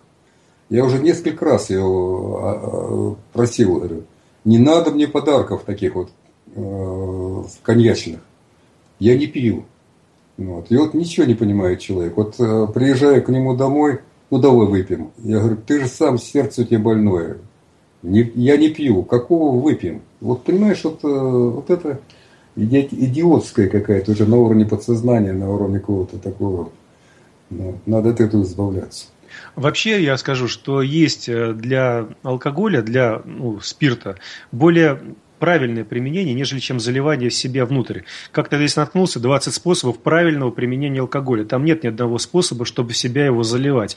Это mm. при простудах, это как там лечение, когда компрессы какие-то делаются, это обеззараживание, это да, очиститель, да, да. стеклоочиститель, кстати, это еще, еще много чего другого. Кстати, медицинский спирт, хотя и называется медицинским, но вы в энциклопедии, большой медицинской энциклопедии, не найдете ни одного упоминания, чтобы его внутрь принимать. Да. Самое смешное. Так, дальше следующий вопрос от Владимира Измытищ. Практически ежедневно на улице вижу надписи аэрозольными баллончиками на стенах и заборах. Бетон, цемент, соль, микс с указанием номеров мобильных телефонов. Уважаемый соведущий наверняка догадался, что это за микс. Ну, то есть, это, скорее всего, спайсы, те же самые. Да, да, да. Что да. делать с такими нелюдями? Чего? Э, надо что-то делать э, радикальное такое. Надо подключить. Я мытище прекрасно знаю. Может, э, Володя, можешь почитать мою наследницу э, по мытище, там концовка очень мощная наследница. В интернете найди. Э, Берегиня наследница. Вот. И э, я думаю, что вот эти спайсы, я уже говорил, старец мне сказал, это все убийство души. Надо просто их отлавливать, этих. Вот. Уже делают так, в Волгограде, везде. Ну, вот, вот этих, э, кто распространяет. Ну и надо что-то придумать, не убивать, но сделать так, чтобы они э, или самих напоить этим, или чтобы они сожрали эти упаковки. Ну, надо радикальное, надо, потому что так, уговоры, все э, это бесполезно. Ну, вот это люди уже больные сами на голову, раз они других травят. Ну, милиция, ну, милиция, дай бог, чтобы помогла. Вот, как-то вот. я разговаривал как-то с одним человеком такой же позиции и говорю, ну а как вот поступать? А он мне говорит, вот понимаешь, в чем дело? Почему у нас так хреново все сейчас вот в нашем мире? Я говорю, а почему? А потому что те, кто делает машины, ездят на машинах других заводов, иностранных. Угу. Те, кто производит какую-то продукцию, они своей продукцией не пользуются. Угу. Вот, например, выпускает какой-то комбинат какую-то продукцию, а жрут, например, продукцию других комбинатов, элитных. Потому угу. что они деньги заработали на этом и могут себе позволить хорошее качество купить в другом месте. Я говорю, и к чему ты это говоришь? А вот к тому, что если человек хочет жить хорошо и общество жить хорошо, то каждый производящий что-либо и предлагающий должен отвечать за свой продукт своей жизнью. То есть ты что-то предлагаешь, пожалуйста, это сам используй в своей жизни. То mm-hmm. же самое, предлагаешь, например, продукт какой-то, тот же самый спайс. Ну, скушай, пожалуйста, его, этот спайс. Да, да, да, да, да. Покажи другим людям, что оно безопасно, что оно такое хорошее. То есть поймали человека с этим делом, как он мне рассказывает, разъянули ему рот, и туда сколько пакетиков нашли, столько ему в рот и засунули. И водичкой да. дали запить. И посмотреть, что с ним дальше произойдет. Но он же хороший хочет сделать дело, он же добрый хочет сделать дело. Ну, ну пускай да. эту продукцию и сам попробует для начала. Правильно, вот так и надо, потому что дело в том, что они, они помешаны уже на деньгах. Вот главное заработать. А заработать они сами продают тоже сами наркуши. Ну, вот, наркоманы. А это же страшно, как цепная реакция идет. Угу. Так, дальше, Николай задает вопрос в эфир. Сколько, по вашему времени, выводится грязь от сигарет из легких? И как правильно бросить? Читал, что если сразу бросить, то в организме активируются какие-то бактерии, которые могут натворить делов. Ну вот я вам скажу по себе. Я вот не курю уже 15 лет. А, значит, э, причем закурил тоже как обезьяна. А, я э, в 1978 году назвал на партхозактиве, главным инженером крупной геолоризационной партии был в Якутии, назвал партком гнилым аппендицитом в теле администрации. Чем занимается нас партком? Это гнилой аппендицит в теле администрации. Делят ковры, ковровые дорожки, машины, квартиры, а люди перловку -то ну, ну и когда меня выгнали с партии и понизили в должности, я в другую партию попал, там хороший такой был начальник Иннополец.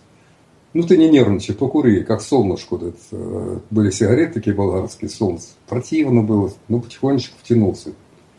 И вот когда я бросил, я бросил сразу, резко, с одного раза. И через три с половиной года лежал в больнице здесь, и меня послали на, а, значит, на обследование. Ну как в больнице лежит э, цикл обследования. Я пришел, значит, сканирование э, вен на ногах. Я заголил там трико, она каким-то намазывала этим самым э, гелем. И типа УЗИ такая штука возит, возит. И говорит, когда бросили курить? Три с половиной года назад. Ну вот если бы не бросили, до коленок обоих ног уже бы не было. И вот представляете, до сих пор у меня еще, сейчас уже, а то было вообще в те годы. Как будто, знаешь, когда сидишь, нога такая, колоти мелкие все. Все мельчайшие сосуды забиты никотином. Ну, вы знаете, что очень многие, э, вот артист, который «Белое солнце в пустыне», Легостаев играл, ему одну ногу отрезали, вторую ногу отрезали, он продолжал курить, и совсем когда уже ну, остановиться нельзя. Это же жуткое. Потом меня посылают на эхограмму сердца. А, буквально через 15 минут я э, разделся до пояса, значит, мне этим такой же штука, типа УЗИ, вводят насчет сердца, такая взрослая уже, тетенька за 50 лет, медсестра, говорит, вставай и проваливай. Я говорю, а что такое? Легкие, как два гранитных булыжника. Сердце не видно за ними. Можете представить, это прошло три с половиной года. И вот сейчас только, через 15 лет я уже и хожу, я сейчас как бросил курить, я когда курил, я на пятый этаж э, поднимался, два раза останавливался. Сейчас я взлетаю, мне 68 лет, я взлетаю на пятый этаж без лифта. Ну, вот, вот что значит э, курево. И вот потихонечку откашливается, потихонечку сразу отхаркивается все. Вот, вот такие дела. Так что бросайте, пока не поздно. Пока не поздно. Ты мне напомнил, когда про врачей рассказывал, тоже мне пришлось это обследоваться год назад. Mm. Вот, и тоже делают мне вот эти все, что ты рассказываешь. Mm. Одна тетка такая, да, мальчик, еще тебе жить да жить, все хорошо, замечательно. Я так усмехаюсь. Что, говорю, ты смехаешься? Я говорю, ну какой мальчик такой же, это к полтиннику там все нормально. Mm. А такая, да ладно, что ты к полтиннику, бороду типа отрастил, думаешь, что это поверю, лицо-то вижу молодое. Говорю, ну в, карточке, в карточке-то посмотрите. Он так смотрит, ой, говорит, а я, говорит, мне столько же лет. а я тебя, говорит, мальчиком называю. Говорю, ну, вот такая, ну, такая природа. А говорит, а почему? Говорит, ну, не пью, не курю, матом не ругаюсь. Да, ну, вообще я думал, что ты батюшка. ну вот, а насчет, э, ну так, шутка, отступление. А вообще так, насчет эм, вот то, что ты говоришь, бросить, не бросить, да, вот многие также говорят, вот там кто-то бросил, сразу умер. Помнишь, как это Максим да, Перепелица? Это, это бред. Помнишь, Максим Перепелица, когда они в самолете летят, говорит, да. вот дед-то э, бросил курить и помер. Ой, не говорит, наоборот, кажется, он помер, а потом уже бросил курить, да, там шутка такая была у них.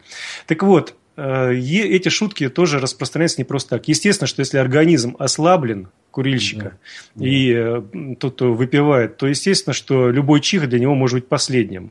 И поэтому привязывать к тому, что он помер только из-за того, что бросил пить или курить, это так же глупо, как и, там, например, говорить, что человек э, здоровый полностью умер здоровым только по той причине, что вот он был здоров, но все-таки ему на голову кирпич упал. Вот, понимаете, вот из этой же серии. Поэтому не надо ничего придумывать. И как еще бросать? Тоже, когда с людьми разговариваю, с разными, как ты бросил курить? Один говорит, ну я там вот это пробовал, вот это, вот это. И очень-очень долго, долго, долго. А с другим разговариваю, он говорит, я бросил курить так. Я осознал, что это такое.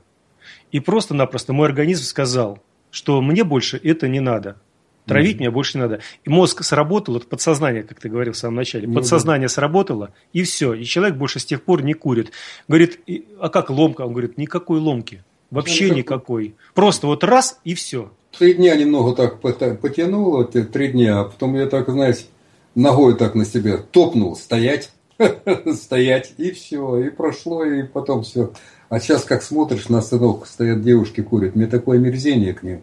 Вот. Они красивые и все прочее, но смалит эту гадость, вбивает в себе будущую жизнь. Угу. Тут вот ребята писали, когда ты рассказывал, говорит, если я прохожу и на остановке стоят девчонки курят, я в их сторону демонстративно плюю. Прохожу рядом и плюю в их сторону. Молодец.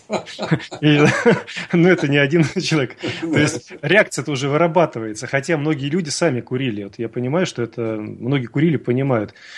Ну, что делать? Ладно, вопрос дальше. Владимир Измытич задает Юрию Васильевич. Кто или что ставит за этим, стоит за этим потоком наркотической мерзости? Глобальный предиктор, злой миллиард, пришельцы, глупость, жадность, что? Я думаю, что это все-таки вот, комитет 300, ну, вот, э, который поставил себе задачу вот этот золотой миллиард – вот. И им, а, ну вы помните же, что и Тэтчер говорила, что в России должно быть 16 миллионов остаться, только которые трубу будут обслуживать и все прочее. Это сатанинская а, Америка, сатанинская империя, сатанисты. И в том числе и Англия, и, вот, и Голландия, и все прочие, вот эти масоны все. Ну, вот. Они люто ненавидят нас, э, русских, потому что у нас самые красивые женщины. Вот э, помните, э, такую гадость валили на Ивана Грозного, что он 3000 человек э, якобы казнил, но и то я сомневаюсь. А в это время в Европе, в Англии, в Европе было казнено 800 тысяч молодых женщин. Можете представить? И сейчас, ну вот посмотрите на руководителей этими всеми ихними группировками европейскими – это думаешь, смотришь на них и думаешь, это сколько же надо шнапсу выпить, чтобы с ней ребенка э, зачать.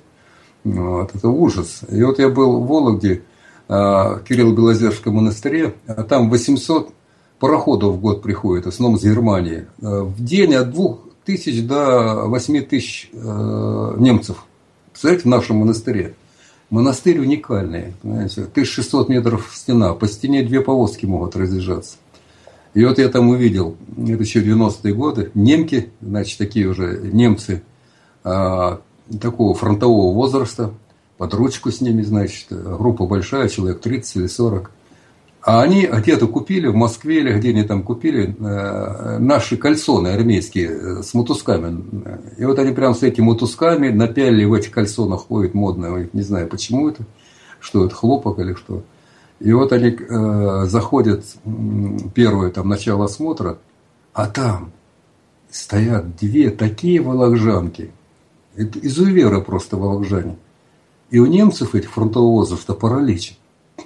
Они так рот раскрывают, глаза лупят на них. Ну, такие красавицы. Коса в руку, знаешь, это все. Фрау их дергает за рукав. Но туда-сюда. Кое-как во второе помещение продергивает большое. А там их штук восемь, еще красивее. Вот. И все, немцы оставляют там все деньги на сувенирах. Вот. Э, просто э, вот там стоит, вот кто не был, бросьте в эту Европу, бросьте в эти все Египет, эти, э, Турции, съездите в Вологодчину, поглядите, какие там артефакты в монастырях. Ну, вот представьте, вот в монастырь, Кирилл-Белозерский монастырь, более 100 милиционеров охраняет. Там есть иконы по 5-6 миллионов долларов. Ну, вот, дореволюционное это все еще. Ну, вот.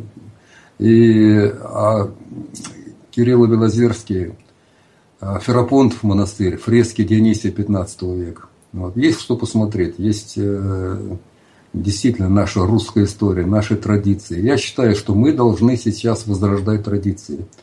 Наши традиции, вот, они были светлые, настоящие. Вот. И э, не надо никого слушать, не тех, э, всех этих собчащиков, всех этой мрази, которая ну, вот, пытается нас внушить детям нашим, что вы... Давай никто. лошадей не будем обижать тоже. Да. Давай, про животных мы договорились, животных не трогаем. Не будем. Ну ладно, все. А, короче, э, я думаю, что молодежь, э, я знаю, где включить у них тумблер, и они сразу начинают а вокруг озираться. И вот самое главное, э, чтобы молодежь понимала слово «отечество». Это такое великое слово. Отечество. Вот когда человек молодой, я сам в свое время, когда дошел до этого вот отечества, у меня такое распахнулось. Э, такие пространства, такие миры наши, глубокие, бесконечные. Наша песня, наша ну, вот, э, сказка, наша вообще танец, пляс наш русский, что это уже невозможно никакой. Когда мне говорят, а чего ты э, загранпаспорт не делаешь? Я говорю, «А нафиг он не нужен. Я не поеду никуда из России. Лучше на, э, на Байкал съезжу, или еще куда-нибудь, или в Вологду, или... Ну, чего я там не видел в этой, э, в Англии, в этой. И когда мне говорят, вот, ты, надо учить английский язык, я говорю, скоро англичане русский будут учить. Русский будет учить. Аналогично говорю, я лаять не хочу на чужом да. языке. У меня э, полковник у нас был, НВП преподавал, полковник, артиллерист. Он говорит, никогда русские люди не лаяли на чужих языках. Только да. при необходимости, ну, когда уже совсем до них, до их уровня приходилось опускаться, чтобы что-то им разъяснить. А так э, разговаривали с ним другим. Вот кулак сжимали и показывали. Все, они сразу русский начинали учить. Mm. Вот молодец у нас полковник был, как говорит, царство ему небесное. Да, вот он всю войну прошел,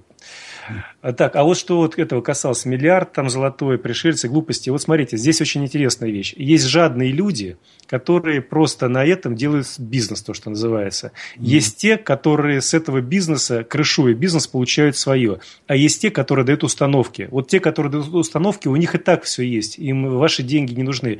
Им нужно управление человеческим ресурсом, потому что на Земле самое главное – это не золото, не бриллианты. Этого в космосе навалом. Как там, если уже мы говорим там, про всяких пришельцев, пришельцев, там, про анунаков. Ну, да. Проще там планету золотую взять, себе притащить и пользуйся ей там тысячу лет тебе хватит или миллион лет. Не за золото здесь война идет, а именно из-за ресурса, то, что называется человеческий ресурс души. И вот кто управляет этим ресурсом, тот и самый главный, потому что воспитание душ – это на всей территории, все миры как раз идет вот атака через нашу землю. Прошло да, обучение да. здесь, на, прошла обучение здесь душа на земле и вернулась, грубо говоря, прародителям. И вот там она начинает творить те же безобразия что здесь. Поэтому, если там безобразие творит, то и той планетой, той землей, тем миром можно управлять. Вот да. куда прицел. Это надо, ну, если хотите, да. отдельную передачу мы на это да, еще да. сделаем. Да. Давай прерываемся. Сейчас а, музыкальную паузу а, прервемся. Мне под... там пару слов хотелось сюда. Хорошо, только не забудь. Угу. Все, ставлю теперь казачью песню. В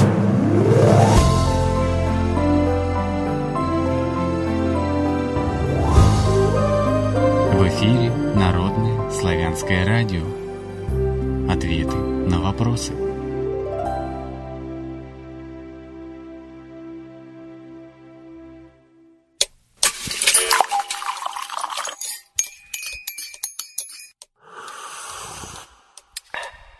Продолжаем разговор. Продолжаем разговор на Народном славянском радио. Напомню, что по одному из современных календарей 24 февраля 2016 года среда, по одному из старинных 34 день месяца юг и стужи 7524 лета неделя. Алкоголь, табак и другие наркотики, как они есть. Такова тема сегодняшнего нашего же эфира. Главный соведущий Сергеев Юрий Васильевич. Мы отвечаем на вопрос наших радиослушателей. Что ты хотел ты пару слов сказать в конце? Этих... Я хотел вот, э, как предвидел ты меня это сказать, э, позитивное тому все это, всякое эти пакости разговаривать разговариваем о наркотиках. А, кубанское казачье войско. А, вы знаете, я э, за прошлый год снял пять э, фестивалей казачьих и сборов э, по России. И вот позапрошлом году я снимал было два полка, значит, кубанского казачьего войска, а в прошлом году их уже дивизия, можете представить, 10 тысяч человек. Командир этой дивизии потрясающий казак, безуглый. Иван Васильевич. Вот. И на этом сборе выступал э, губернатор, новый губернатор Кубанской, Кубани. Вы представляете, ему говорить не давали, 10 тысяч казаков кричали «Люба, Люба, Люба». Это вообще потрясающе, такого путинского склада, такой патриот, такой все. Ну, вот. И вот там в этом же я где-то дней пять варился в этом котле этой дивизии. Мы в позапрошлом году за 24 дня расстреляли 24 тысячи патронов – там и стрельба, там изучение минного дела, там э, ну, кубанские казаки, они же Крым взяли. Вот. Кубанские казаки воевали в Сирии в июле прошлого года. 200 казаков кубанских положили там 10 тысяч этих игл, игл. Но самое интересное, у меня это на видео снято все, э, рассказ. Самое, что у нас не было ни одного раненого из 200 человек, не то что убитого. Так ты что... сейчас военные тайны особо не раскрывай, это первое. А второе, что э, сейчас вот ты произнес фамилию президента, многие скажут, ну, очередные реестры там куплены и так далее. Не, там такое творится, ребята. Вот ты знаешь, э, эти э, казаки все сидят на зарплате. Почти исключительно все. Значит, дружина, казачья дружина, возьмем Анапа. День дежуришь, сутки дежуришь, трое дома – 25 тысяч в Месека. Разве плохо? 25 тысяч, э, день подежурил, трое дома хозяйством занимаешься.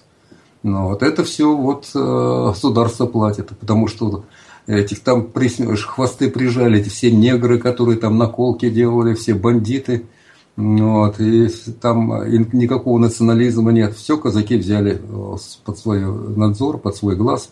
Вот помните, в Новороссийске, да, в Сочи шел, э, в Сочах был когда фестиваль в Сочи, и там Пусирайт, там приехали, хотели эту провокацию сделать, и как казаки им там вломили по, по задним местам. И я эту плетку держал в руках. Знаете, э, вот ты меня пугаешь тоже, это самое, какой ему штраф какой, вот этому казаку, который этой самой по заднице этой нагайкой, плеткой, нагайкой вломил. Аж тысячу рублей он заплатил. Это уже все жлевые возмущались. Там, Но с таким, небось, с таким он прямо с такой радостью это еще отсчитывал. Там, да. есть, есть за что заплатить.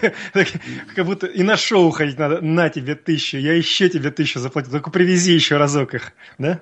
Есть здоровое, здоровое казачество. И дай бог, что они трезвые казачество. Они все боевое, настоящие воины. Там даже с оружием вот ходят э, свободно, э, хранят его где-то там сдают, но вот принимают участие. Ну хорошо, если это все правда, как ты расскажешь, то я как-то так радуюсь за то, что наконец-то у нас здоровые такие силы появляются в количестве нужном, и управление над ними здравое. Я хотел, кстати, сказать вот про этот ансамбль, который звучал. Вчера вот не поленился, сидел, искал ансамбли такие, которые вот фольклорные наши, потому что ну, мало, к сожалению, хорошей музыки. А ты обратил особенность этого исполнения? Все-таки пели женщины казачьи песни. Как правило, там или сводные хоры, или мужские ансамбли. А тут именно чисто женский ансамбль э, Кубань, э, Кубаночка. Угу. Я впервые услышал, чтобы женщины, только женщины исполняли вот такие песни, причем боевые песни исполняют. Это уникальный ансамбль в каком-то роде своем. Я тебе сброшу э, ансамбль Кубанцы, вот он приезжает сейчас э, сюда, э, послезавтра он будет здесь, мы будем вместе выступать. И они написали уже несколько песен на мои стихи. Я, я тебе сброшу, можете использовать их в своей передаче. Ну, ну что ж, низкий поклон, низкий поклон. Ну, Хорошо, давай дальше продолжим. То еще вопрос у нас есть. Mm-hmm. Так, э, про жадность и пришельцев разобрались. Теперь следующий вопрос от Анастасии Рысь. Юрий Васильевич, есть ли информация о том, является ли сахар наркотическим веществом и добавляют ли такой сахар в кондитерские изделия? Вот это я не знаю. Я знаю, вот, вот мне один э, ученый сказал, я до сих пор не помню никак что вы знаете, он сказал, в СССР, вообще в России, рак начал с 1956 года. Это по его исследованиям. Ну, значит, э, оказывается, в те годы, э, э, значит, в те годы э, э, дрожжи при выпечке хлеба начали применять, представляете? И все, и начался рак. Не знаю, насколько это правда, это непроверенный факт такой. Ну почему ж непроверенный? Есть эксперименты проводились, когда те дрожжи, которые современные дрожжи, которые называют термофильные, э, берут, э, проводят эксперименты с крысами, и там рак, э, те, которые дрожжи употребляют, дрожжевые продукты, значительно быстрее развивается. Так что это не шутки. Потому что вот как доказано, рак это все-таки непростое заболевание, которое связано с какими-то там изменениями в природе. Это влияние внутри, какие-то инфекции, грибки и так далее. А ведь дрожжи это э, и не бактерии, и не грибки, это между ними. И они могут как раз воздействовать на многое другое, на герпес на тот же самый. И когда вместе соединяются, там образуются опухоли. Это все проверено. И вот как раз тот самый рафинированный белый хлеб, булки – да, mm-hmm. на этих самых дрожжах термофильных это вообще отрава, это смерть. Mm-hmm. Имейте это в виду все. Есть же бездрожжевой хлеб. Да, да, да. Но сейчас нашлись умельцы, которые пишут бездрожжевой хлеб, а внизу в составе написано все равно дрожжи. Дело в том, что бездрожжевой хлеб – это зарегистрированная марка. Так что вот неоднократно уже говорил, следите за тем, что написано в составе, а не читайте наклейку, потому что часто бездрожжевой хлеб – это является названием фабрики или предприятия, которое это ну, зарегистрированная марка. Так что не подпадайте на это. Вот я э, бездрожжевой хлеб казачий, вот я пример приведу. Это подлинная история. Вот э, снимался э, фильм Кубан, «Кубанские казаки» в станице Курганинской на Кубани в те еще 50-е годы когда-то. И традиция осталась. И вот мне товарищ рассказывал, значит, традиция какая, что собирались все колхозы, совхозы, богатые же на Кубани были, уже после уборочной. И вот там ярмарка шикарная была в каком районном центре, значит, продавали там и арбузы, и все там, и были скачки. И вот э, скачки, и один кубанец с газарями, такой молодой, лет 25, всех победил. Но первое место занял, а приз знаешь какой был? Пианино. Ну, такой пианино его наградили. Ух ты, хочешь сказать, ух ты. Да. Ну и, короче, это, идет он по улице, девки вокруг аж ногами перебирает вокруг него, идет такой. И вдруг дедок с клюшечкой. Мне товарищ рассказывал, что он прям видел это все. С такой клюшечкой, глаз у него такой разрубленный оказался в гражданскую войну, порубили глазок. И говорит, Петька, а ты вот хлеба булку нашу кубанскую разрубишь? Запросто, дед. Он там, Нюська, внучки или правнучки, ну-ка бегом в хату. Принеси хлеб, бабка только вынула из печи. А, да на табуреточке на полотенчик положите. Выносит эта девушка табуретку на табуретке, полотенчик и хлеб. Бей. Ну, тот кубанскую шашку выхватывает, бабах по, это, по хлебу. Она на метр подскочила, перевернулась и опять упала. Не разрубишь э, парной хлеб такой, который с печи, его нельзя, невозможно разрубить. Он три раза пытался. И потом говорит, дед, говорит, так это невозможно. Нельзя его разрубить. Дед, ну-ка, дай-ка. И, говорит, я стоял рядом, и этот Миха я поймал. Когда он костылик отбросил в сторону, из-за э, шашку-то, ручку, его аж как судорога передернуло всего. Понимаешь? А уже сил-то нету махнуть даже ей. И он так коленкой, э, как снизу даст где этот шашка. Динь! Хлебушек пополам, полотенчик пополам и табуреточка пополам. О, говорит, еще нет самое, не забыл. И тут народ как взревет, отдать пианино деду. На кой нам не нужен ваш пианино? То есть, какие мастера были, настоящий характерник, какой вот, вошел он в состояние, вот разрубил сразу все. А такой уже возраст был, говорит, под 90 ему. Да. Вот, поэтому... сейчас, ты, вот сейчас ты расскажешь про хлеб, а у меня-то в хате хлебом пахнет. Э, женушка печет в хлеб бездрожжевый. Да, здорово. Э, вот у нас же в детстве, я помню, в каждом доме был свой хлеб. Бабушка в три часа вставала, э, вот все на хмелю было, никаких дрожжей не было, все. И мы кусками менялись с соседскими ребятишками, собираемся сам, куски раз, мы считали, что у них вкуснее хлеб. Действительно, были все, такие мягкие, пушистые, белые, но все равно по вкусу где-то, по запаху были другие. Но хлеб – это великое дело. Угу. Ну так вот, по поводу сахара. Значит, давайте просто разберемся. Если мы говорим про рафинат сахара, то любое рафинированное вещество – это все-таки вредно, это наркотик. Любое рафинированное вещество.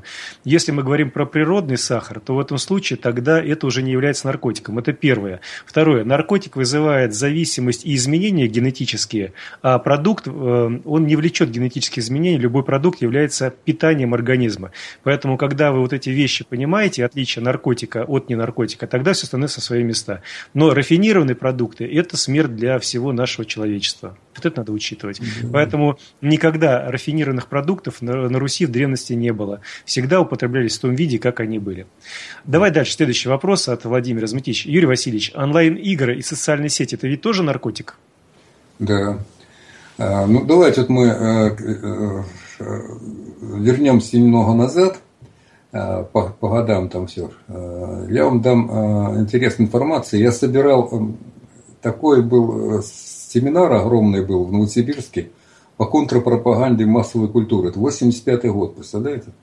Нас там машина девятка ехала, под коленки била буфером, говорит, мы вас убьем, вы отсюда не уедете. Ну, давайте начнем. Э, самый страшный наркотик, который поражается наша молодежь, это тяжелая музыка, хэви-металл, рок-музыка.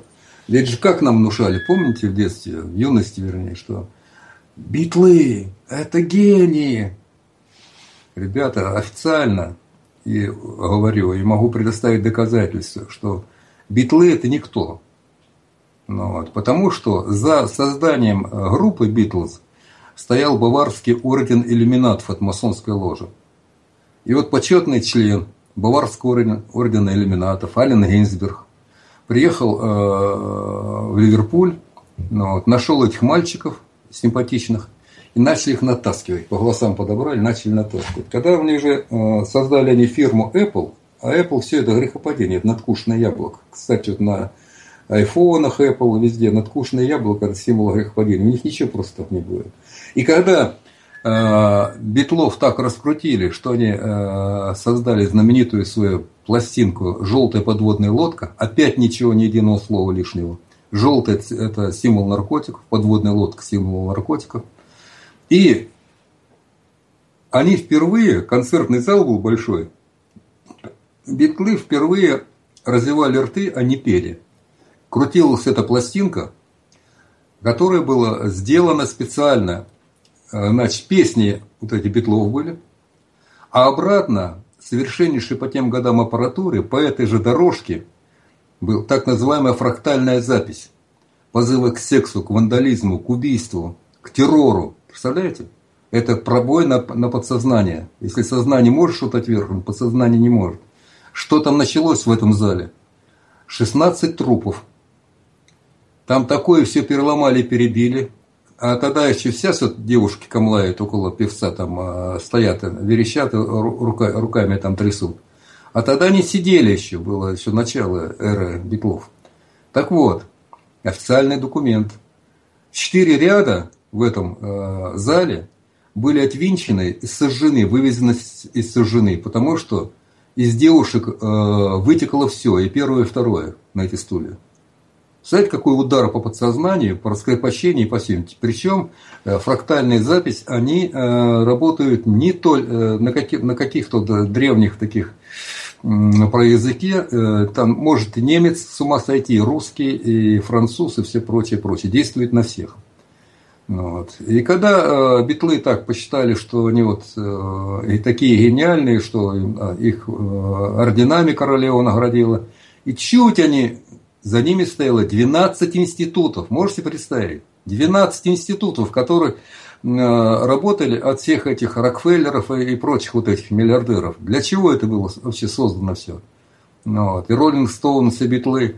Для того, чтобы молодежи, молодежи, новое поколение молодежи, никаких там революций не устраивали, ничего. А всех их слить в канал, в сточную канал. И они слили. Понимаете? Слили в сточную канал эти молодые поколения. Вот. И э, поэтому э, мы собирали в Новосибирске э, большую конференцию, и были с Минска, когда Единый Советский Союз был, с Минска были ученые с мединститута, Минского мединститута. Они мне еще диски, кассеты подарили, э, которые оттуда они привезли. Они провели эксперимент, уникальный эксперимент. Значит, тысячи ребят, помните, эти были еще начало, э, когда наушники были, вот эти все еще э, висячие магнитофончики такие небольшие, когда первые битлов там все Плеера там, да, такие. Плеера такие наши. Они их собрали в пионерлагере, прям доклад делали. Но Пожалуйста, общайтесь, говорите, никаких плееров, никакой прослушки музыки, причем контролировали, чтобы никакой прослушки музыки не было. Вот это тяжелое хэви металл рока. Да. На третий день начались, медики доклад делали, начали, начались а, такие а, признаки наркотического хумара. Потекли у них сопли, слезы, понос.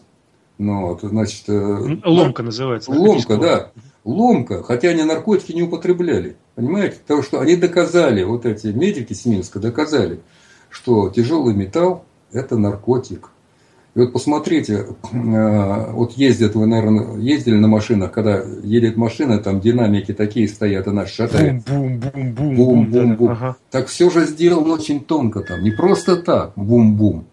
Ну, вот. а, а вот эти ритм, подобран под э, э, аритмию, под э, сердце, э, э, инфарктное сердце. Вот ритм инфарктного сердца, и вот в этом бум-бум. Я не уверен, что долго проживет человек, который едет в этой машине. Ну, то есть э, работают, работают на станисты, работают на уничтожение и молодого поколения, и на все вот смотрите, что творится в Донбассе. Ну, вот это же просто там же ездят специальные машины, Volkswagen, транспортеры. Э, и вы же слышали, читали, наверное, изымают все органы, потрошат и убитых, и раненых Ну, 70 тысяч долларов одна почка, ну кто устоит? Вот. Поэтому сатанизм, э, нам нужно объединяться, иначе эта вся мразь придет к нам сюда в дом. Мы сейчас беспечны очень-то. Э, придут, придут, начнут курежить и наших детей пилить на запчасти и все ломать. Попытка была уже 90-е годы. Кстати, вот Анастасия Рысь написала, кстати, про Белтлов. Джона Леннона как раз застрелили за то, что он пытался рассказать правду. Ну, как один из вариантов. Да, да, да, да. Ну, в общем, мы выяснили, что зависимость, она может быть не только от того, что человек что-то поглощает в себя, но и то, что слушает, и то, что смотрит. Это тоже наркотическая зависимость, да, может да. быть. Так, следующий вопрос э, в эфир от Олега из Иркутска. Э, как, по вашему мнению, известного человека, писателя, общественного деятеля, христианина Казака, устроить массовую всероссийскую акцию референдума о запрете алкоголя, табачной продукции, признания их на законодательном уровне наркотическими веществами, возможно, под вашим руководством или с вашей подачей, как авторитетного человека, как, к примеру, обращение к президенту, как гаранту Конституции, к человеку, который имеет право назначать референдум, или к митрополиту Кириллу и к другим духовным конфессиональным лидерам, которые в силу своего духовного сана и степени влияния на общество и политиков могли бы повлиять на создание, на сознание людей и кардинально избавиться от этой чумы, курева, алкоголь и так далее. Готово, созрело ли общество России в настоящий момент к такому шагу? Благодарю. Знаете, молодежь созревает, созрела уже молодежь. Поэтому очень многие, если алкаши были отцы, то дети не курят, не пьют. Вот это вот мне любимый, знаете, какой, э, я часто нахожу, флешмоб в прошлом году было в Новосибирске, флешмоб, молодежь танцует там в центре, посмотрите, это фантастика просто. Это так заводит, здоровая молодежь такая, все э, удивительно. И я обоими руками за, э, если что, то, ну, во-первых, объединяться даже не вокруг там, меня, я слабый для этого, вокруг Жданова надо, потому что это такой воин. И вот это э, действительно надо поднимать, писать, добиваться, пробивать это дело. Потому что, вот, и когда тут русскому человеку нужно образец для подражания. Вы знаете, когда я написал э, вот «Княжий остров» и там о казачьем спасе, я только в одном месте э, читал про казачий спас. Ну, в детстве-то я видел этих людей. А вот э, это был одесский такой, без, без клубы ну, а сейчас попробуйте, откройте казачий спас в интернете. Ну, там все забито. Ну, нужен образец для подражания. Нужен герой, который не курит, не пьет. Нужна э, молодежная вот это. Ну вот представьте, как это легко делается он, в Самаре, например. Там уже сотни, тысячи ребят, которые здоровый образ жизни. Надо нам объединяться. Э, надо объединяться и делать э, свое, Россию, новую Россию. Я, знаете, вот собрал в прошлом году девчонок, вот у меня было 136 молодежи такие, 12, 13, 14, 15 лет. Я их, всех девчонок из этого, из молодежи, усадил за стол.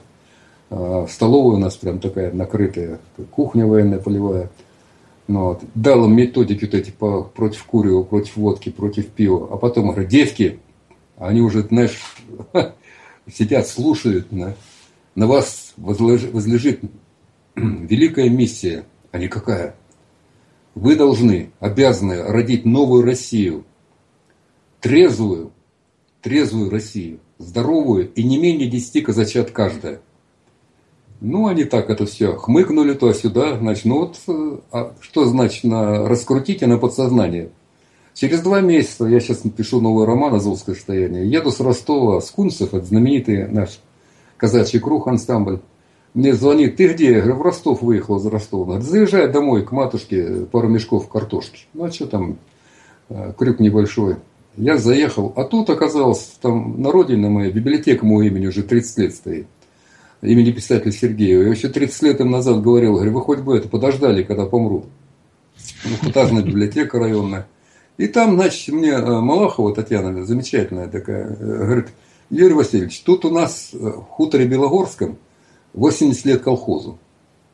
Представляете, они сохранили колхоз Белогорский. Ну, вот, и так живут нормально все. И скотина у них, и птицы там, и все прочее. То есть не подались они вот это, ломки общие. -то. Сохранили колхоз. Ну, вот, и не юбилей. Мы приезжаем, какая-то девица поет на сцене такая, здоровая, мини-юбки, знаешь, все. Мы со скунсом нас вперед, как почетных гостей усадили. И вдруг, знаешь, шторы так э, на сцене висят боковые. Одна штора отодвигается. Молодая симпатичная девчонка, лет 17. Рукой, ладошкой мне машет и подмигивает. И головой так и подмигивает, и машет. Я оглянулся, думал, за мной какой-то, значит, это самое, Молодой ухажер сидит, Сверстник, да? нет, мне машет, блин. Я думаю, это гордыня какая. Думаю, ничего себе, деду старому, девки еще под, подмигивают. И зал тоже заметил это дело. То на меня, то на нее глядят, скажут, что за, за кадр приехал такой. И вот кончается концерт, она ко мне подлетает и говорит, Юрий Васильевич, спасибо вам огромное. Я говорю, за что? А я их всех же не упомню, их 50 человек было на том, за тем столом. Мы шестеро были, от Белогорска вот, на вашем семинаре. Приехали в хутор, провели собрание, причем она так четко все, жестко. Все бросили курить. Сэш признала, что они в 17 лет курили. И сейчас мы уже, говорит, все организованно смотрим э, за дембелями, а у нас, говорит, ребята не пьющие приходят, вообще-то не очень не увлекаются. Выбираем себе мужей, и не менее десяти казачат каждая. Мы поклялись. Думаю, есть. Ну что ж, да, позитивно. Давайте на этой позитивной ноте прервемся на музыкальную паузу.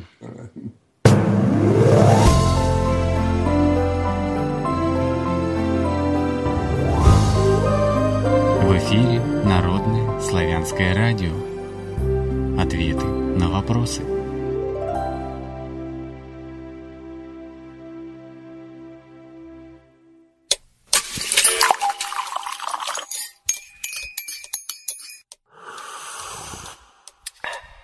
Продолжаем разговор. Итак, продолжаем разговор на Народном славянском радио. 24 февраля 2016 года, среда, по одному из современных стилей, а по одному из старинных, 34 день месяца в юг и стужи, 7524 лета, неделя. Алкоголь, табак и другие наркотики – такова тема нашего сегодняшнего эфира. Вернее, не просто как просто мы говорим про наркотики, как они есть и как о них избавиться, как осознать, что это такое.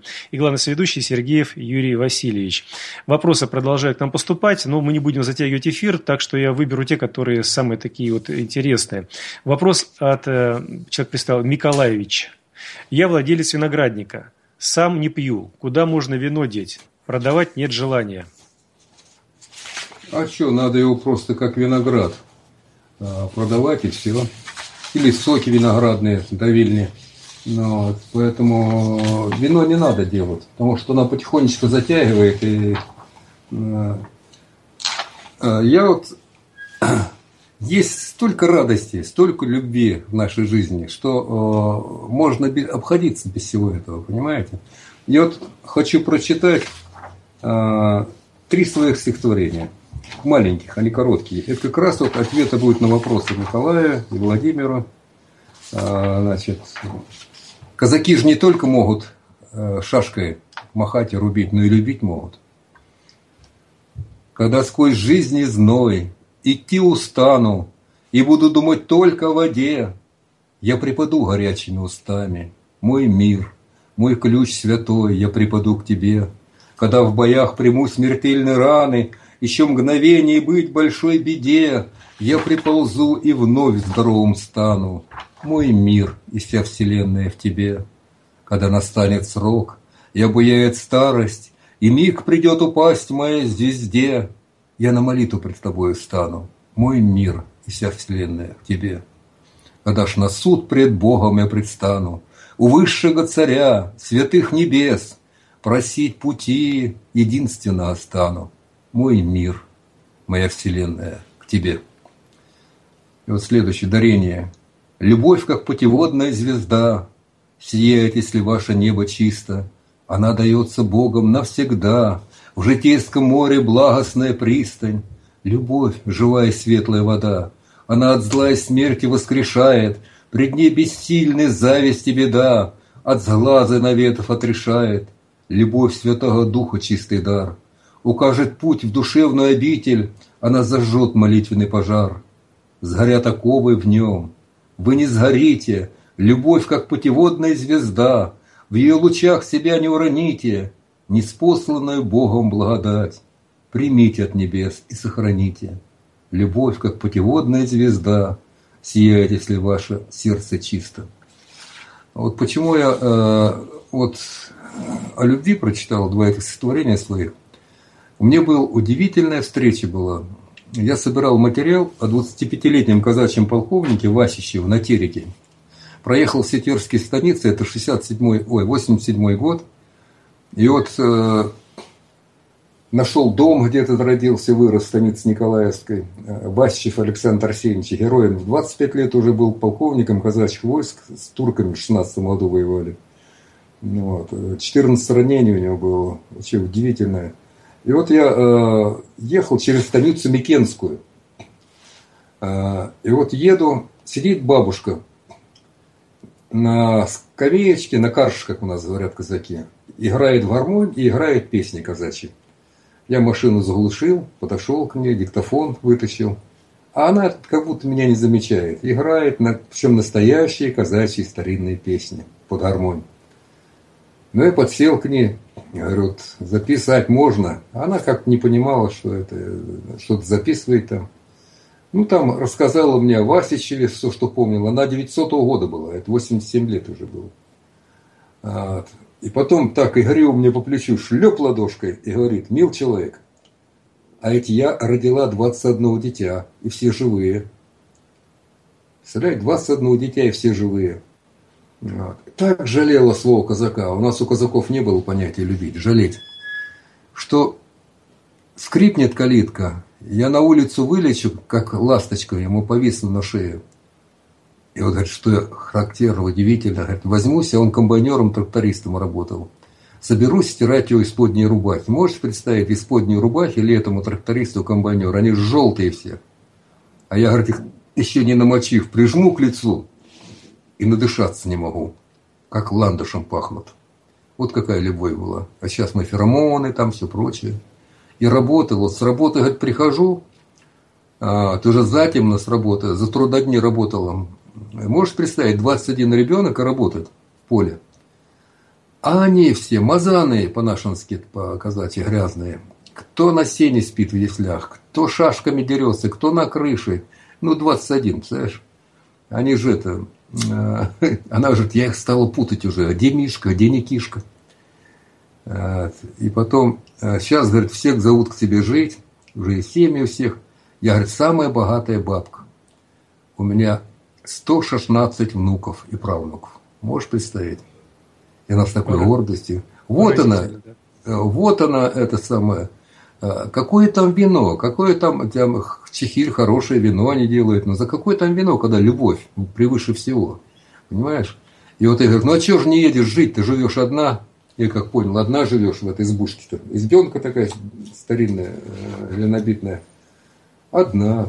Все зовут, не еду. Э, ну а что не едешь, что наш обиделся на меня? Говорит, ты что, спятил, парень?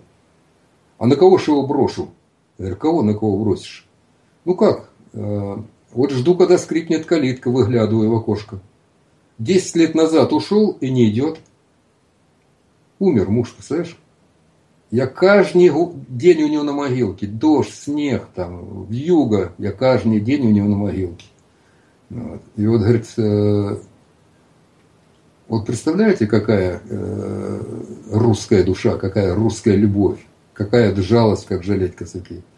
Вот мы на что, до что должны ориентировать своих детей. На будущее, на семью, ну, вот, а не на каких там этих э, голубых и этих лесбиянок. Я вот, значит, ты хоть говорил, но я тут немного, э, что про лошадей нельзя говорить. Опять ты за свое. Ну ладно, давай займемся лошадьми, давай. Ну вот я немножко даже тут, э, ну, так кто поймет, кто не поймет. Вот когда Кандализа Райс значит, начала наезжать на Россию, -то, всякую пакость, ну, вот, я в интернет выбросил, э, когда прочел, кто она на самом деле, она же э, лесбиянка.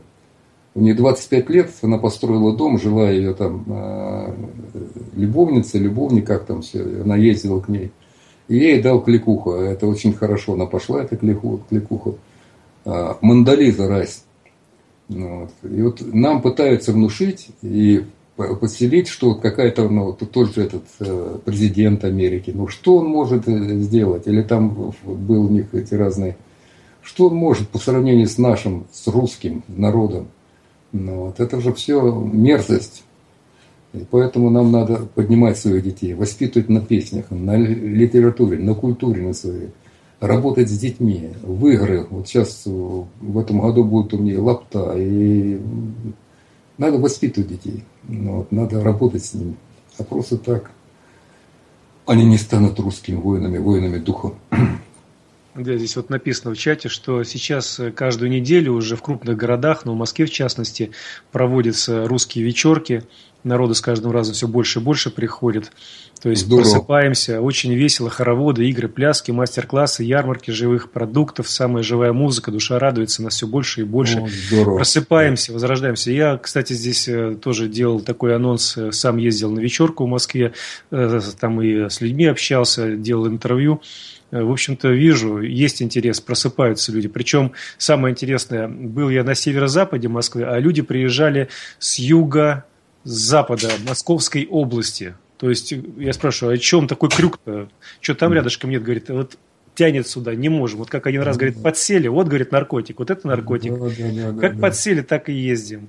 Да и все-таки давай вернемся к референдуму. Как ты думаешь, если вот такой клич кинуть э, через известных людей, ну, собрать известных людей, сказать, идите к президенту, идите к патриарху, идите к другим известным людям, давайте соберемся, сделаем референдум. Ведь э, президент имеет право подписать указ о референдуме. Конечно, конечно. Что о том, давайте. что давайте мы вот сделаем. Как ты думаешь, это повлияет как-то в положительную сторону, или это будет, ну, ну провели, ну, провели ну, ты знаешь, очень много будет э, хихикать, но это ладно, пускай, э, лиха беда начала. Ведь же, э, когда я начинал этот семинар свой, понимаешь, э, было всего там, ну, немножко народа. А сейчас уже мы не помещаемся на поляне и все прочее. Э, нравится вот у нас школа казачьей песни, школа казачьего танца, ляса и сухой закон. И вот это в основном и привлекает людей, понимаешь? Ко мне милиционер первый год, когда прошел, э, неделя, 7 дней, подходит милиционер, которого администрации поставили, ну, чтобы там контролировал чтобы местные не лезли там пьяные. Э, и он говорит, что за народ здесь, Юрий Васильевич? Я что такое? Ни одного пьяного за неделю не видал. И курить-то один только подошел стрельнуть. И не курит, и не пьют. Потому что когда здоровое начало, когда начинается песня, когда пляс, когда вот наши традиции, а там девчонок мы учим и пеленать ребенка, и варить э, щи, и все прочее, вот эти все нашу традиционную культуру русскую – ну, вот, там не докуривают. Знаешь, позапрошлом году приехали с Омска. Хорошие девки такие, в русских славянских одеждах. Человек 30 их было, наверное.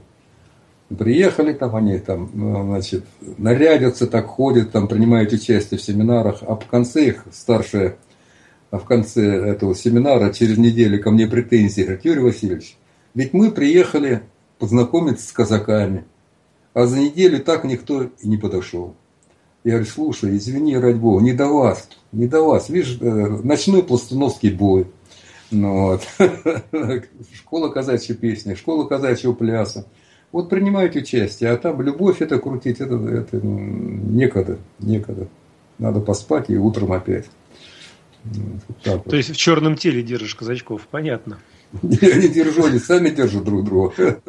Добрые вы там все. Ну хорошо. А, здесь вопрос еще про Сурицу, про Сури. Ну ты уже частично сказал, так что, думаю, этот вопрос не будем озвучивать. Хорошо, у нас такая душевная беседа получается, и у нас э, до завершения получаса остается еще 15 минут. Можем, наверное, с тобой уже подводить итоги сегодняшней нашей встречи. Нет, знаешь, да, про Сурицу, постой. Про Сурицу я А, ну давай, здесь, да, да, давайте прочитаю, чтобы ты тогда уже полностью этот вопрос ну, услышал и ответил. Ну, да. Значит так, Данил задает вопрос. Здравия с ведущим. Юрий Васильевич, какие есть у вас сведения или умозаключения о Соме, Суре, Сурице, ну, Амрите, Амрозии, Нектару богов? Это один и тот же напиток богов, но в разных разных народов или все-таки разные напитки по химсоставу? Я расшифровал рукопись неизвестной науки, и там вот прям расписано. От семи источников, ведические тоже святые источники были, берется э, семь частей долей воды, сливается в ступу, ступа внутри обита серебряным листом тонким. Представляете? И вот, э, значит, э, и туда добавляется, значит, э, вот я уже э, сказал это, значит, рябину, э, рябину поджарили, мелко помели, готово сыпать надо. Да. Вот. Если стрела глаз занудила, тогда, а, значит, но перед этим ее надо спахтать. Вот в серебряной ступе пахталась эта вода, слышишь, энергетика себе мест. Ну, это то, что называлось толочь ступу в воде. Да, да, толочь воду, ступ, да. толочь ну, в воду сту, сту, это, пестец, пестец был золотой, представляешь? Вот серебро насыщалось еще ионами серебра и золота, вот это все просто. И, вот, и никакого там не было ни спиртного, ничего. Ну вот староверы до сих пор это держат, эту традицию. Я вот был, вы знаете, э, э, я снимал фильм э, в этом, в Туве, и в Верховье Енисея там Джей, как-то забыл, да, деревня Джей, она прям на Венесее, такой бурный Енисей, такие камни огромные с дом, с дом стоят. И вот с той стороны, и вот заезжаешь, когда в это селение староверческое, знаешь, аж дух захватывает. По улицам как грибов белоголовых ребятишек. Там 18-19 лет она уже замужем, а уже в 22-23 года уже пятеро, то и больше детей. Ну, не курят, не пьют. Такой вот вообще, какой такой э, поразительный. У меня на сайте есть вот э, фотосайт мой, ну, вот, э, artlib.ru, посмотрите там, э, и вот там есть фотографии этих людей, молодых людей. Артлип.ру, и там на букву F Сергей Юрий Васильевич, тысячи фотографий моих. Вот. Я одну фотографию э, написал, подписал, генофонд, русский генофонд, так ее вычеркнули, это русский генофонд, что, дескать, это, это такая румяная, здоровенная девка, 16 лет, и она такая вся кровь с молоком. Они подъезжают, мы стоим, с, а у меня маленький такой оператор был на видео. А, представляете, в Туве, в тайге подъезжает Ямаха мотоцикл, вот этот, знаете, дорогой, который 30 тысяч э, стоит долларов здесь, в Москве. Парень сидит сзади, а эта девка сидит за рулем. До колен захлюстано все грязь, они же не по асфальту ехали, там по тае, по дорожкам, по всем. Она зашла, Венесей до колен прям на себе э, джинсы так вымыла, подходит и сверху вниз смотрит на нас, а так метр восемьдесят пять, метр девяносто просто. Что делаете-то? Я говорю, кино снимаю. Ну, вот она с таким, знаете, потрясающе, надо слышать было. Говорит, Дивия-то какая? Дивия, знаешь, удивление, дивия-то какая? Ну ладно, снимайте, благословил. Вот. Так что э, очаг вот такой сохранился, здоровый, э, поразительный. Ну, понятно, давай в Сури вернемся все-таки. Значит, это, да. это ступа, обитые серебром, золотой пестик, туда наливается вода семи источников, после этого кладутся туда сушеная, жареная, мелко измельченная рябина, пахтается. Что-то еще добавляется туда? Ну, травы еще не добавляли, но там не указано в этом источнике травы. Я могу прислать это желающим, я могу прислать этот кусок, это вот, который я расшифровал рукопись, и вот там прям подробно, по... она буквально на страничку. Хорошо, дальше что делают? Попахтали, дальше что делают с этим? А дальше э, суру, сому в травах квашеную, вот, э, например, вот это праздник, ведический был такой праздник, э, значит, Дарбга.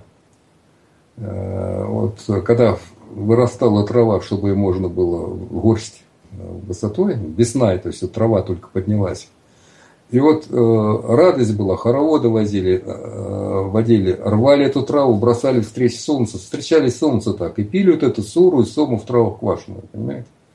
Это был такой э, энергетический напиток, который э, никакого ни пива, ни, ну, вот, не надо было. Но все-таки Сурия, Сура, если мы так рассматриваем, это связь с Солнцем. То есть там еще для того, чтобы это все было нормально, ее не в темном месте настаивали, а за счет солнечного света и насчет тепла да, солнечного. Да. Ну вот Самара, например, город. Сома-Ра. Напиток богов. Сумара. И там же еще э, едешь к этой Самаре, там куча Э, этих рек, таких же вот, э, и Сурия есть река, и все прочее. Это древние такие места. Вот за Пензой туда, между Пензой и вот ну, э, очень интересное. Жарникова вот здорово расписывал. Читайте Жарникова и станьте русскими. Хорошо. Ну ладно, а вот э, ты знаешь о том, что вот по-разному называлось, где-то сома, где-то сури, где-то амрита, где-то амброзия, нектар богов. Вот это одно и то же или все-таки это разные напитки? Ну, я не знаю, в том источнике, который я, вот там расписано вот э, в травах сура, сура в травах, вашей сома называлась, сома. Сома и сура. Да, сома и сура, да.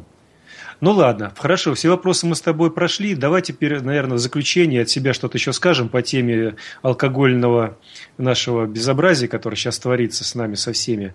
И в заключение что-то пожелаем, наверное, нашим радиослушателям.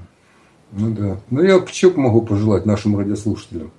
Вот когда э, в магазин вы придете, э, водочный, и вот рядом постойте так ладонью и коснитесь этих вот э, с водкой, и вас обожжет холод, который, смертельный холод, который идет от, от этого китайского спирта. Просто ледяной. А мне еще передали характерники такие способности, кожное зрение, руками чувствую, вижу. Ну, вот, я просто не могу. Иду меня как в ледяной купели. Э, по ряду иду в магазин, где водка продается. То есть это э, просто оружие, которым уничтожается наша нация русская. И не только русские, татары, все, вот, которые у нас и вообще татары считают, э, мы одной нации с татарами. Ну, вот, э, поэтому э, ни в коем случае не берите даже в рот эту пакость. Вот, и сигареты, девчонки, вот когда бросите курить, от вас же будет аромат такой девичий все. А сейчас что? Сейчас пепельницы ходячие. Ходячие пепельницы, да.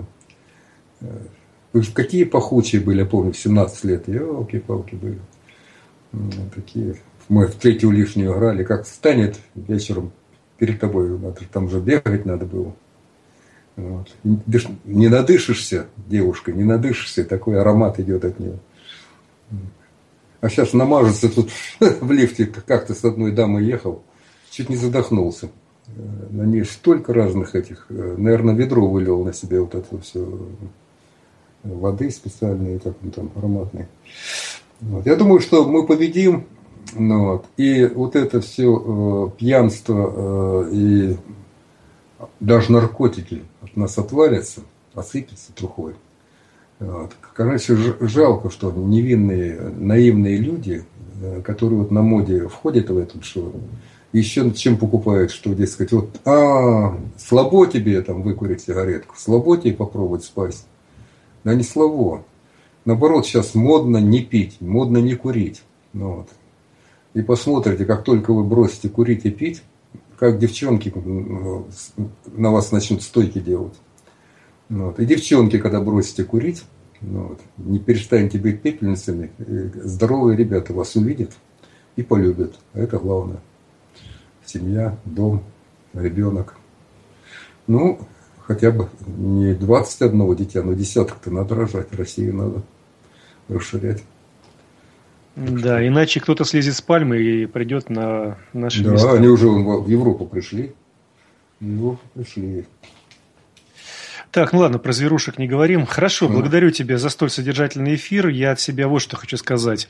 Когда ты говорил про там всяких Маргарет Тэтчеров и Кандалис, mm. вот этих вот мужеподобных созданий непонятного образца, вот, то как-то там они говорили в свое время, что России должно остаться 15 миллионов человек. Переспросили, 50? Нет, 15. А, понятно. А почему? А потому что вот так мы в Европе видим, Россия незаслуженно владеет ну, да. столь большим богатством. Сибирью, да. да, поэтому надо, чтобы там уменьшить, и чтобы цивилизация пришла, и владели цивилизованные люди, а не аборигены какие-то. И много делалось гадости всякой. В конечном итоге эти существа поняли, человекообразные, о том, что Россию в лоб не сломить, о том, что русский дух просто так не сломить, и то, что генетическая память у нас сильна. И они при, предприняли давным-давно еще, когда это все поняли, они предприняли другой вариант. Для того, чтобы уничтожить генетическую память, нужно уничтожить генетику. А генетику да, да, можно да. уничтожить как раз генетическим оружием. Да, то точно. есть устроить геноцид. И вот когда какой-то папаша перед своими детьми выпивает и показывает им пример, это преступник, а не папаша. Да, да. Мало того, что он сам показывает пример, так он еще и плодит тех, которые уже будут с генетикой нарушены. А генетика нарушена – это нарушена генетическая память. А если нарушена генетическая память, то в этом случае ваше место уже будет на пальме, рядом с другими обезьянами. Вот и решайте, кто вы, человеки, достойные того, чтобы называться азами, наследниками богов, с русским духом, по ведической нашей основе жить, хранить землю матушку, или все-таки вы существа второго сорта, как э, некоторые там высказывались в свое время, и то, что вас все время от цивилизации там это окормлять, чтобы вы становились на путь истинный. Вот думайте просто, кто вы, и понимаете, для чего вы здесь. И помните, ну что ж. И помните, что русский значит трезвый, казах значит трезвый. Все. Это железное правило, зарубить все на носу. Это самое главное. Напомню, что сегодня у нас 24 февраля 2016 года, среда. По одному из современных календарей, по одному из старинных, 34 день месяца в юг и стужа, 7524 лето неделя. Алкоголь, табак и другие наркотики, как они есть. Такова тема сегодняшнего нашего эфира была. Главный ведущий Сергей Юрий Васильевич. Низкий поклон тебе за участие. И Спасибо. низкий поклон всем тем, кто принимал живое участие в чате нашем, потому что столь много энергии было выложено, столько много и хороших пожеланий, эмоций, вопросы были правильные позавидовать можно мне самому, что я с такими интересными, хорошими людьми общаюсь каждый вечер. Низкий поклон вам всем. Желаю вам всего самого доброго. До новых спасибо, встреч. Спасибо за приглашение. Слышимся. Я готов работать. Далее.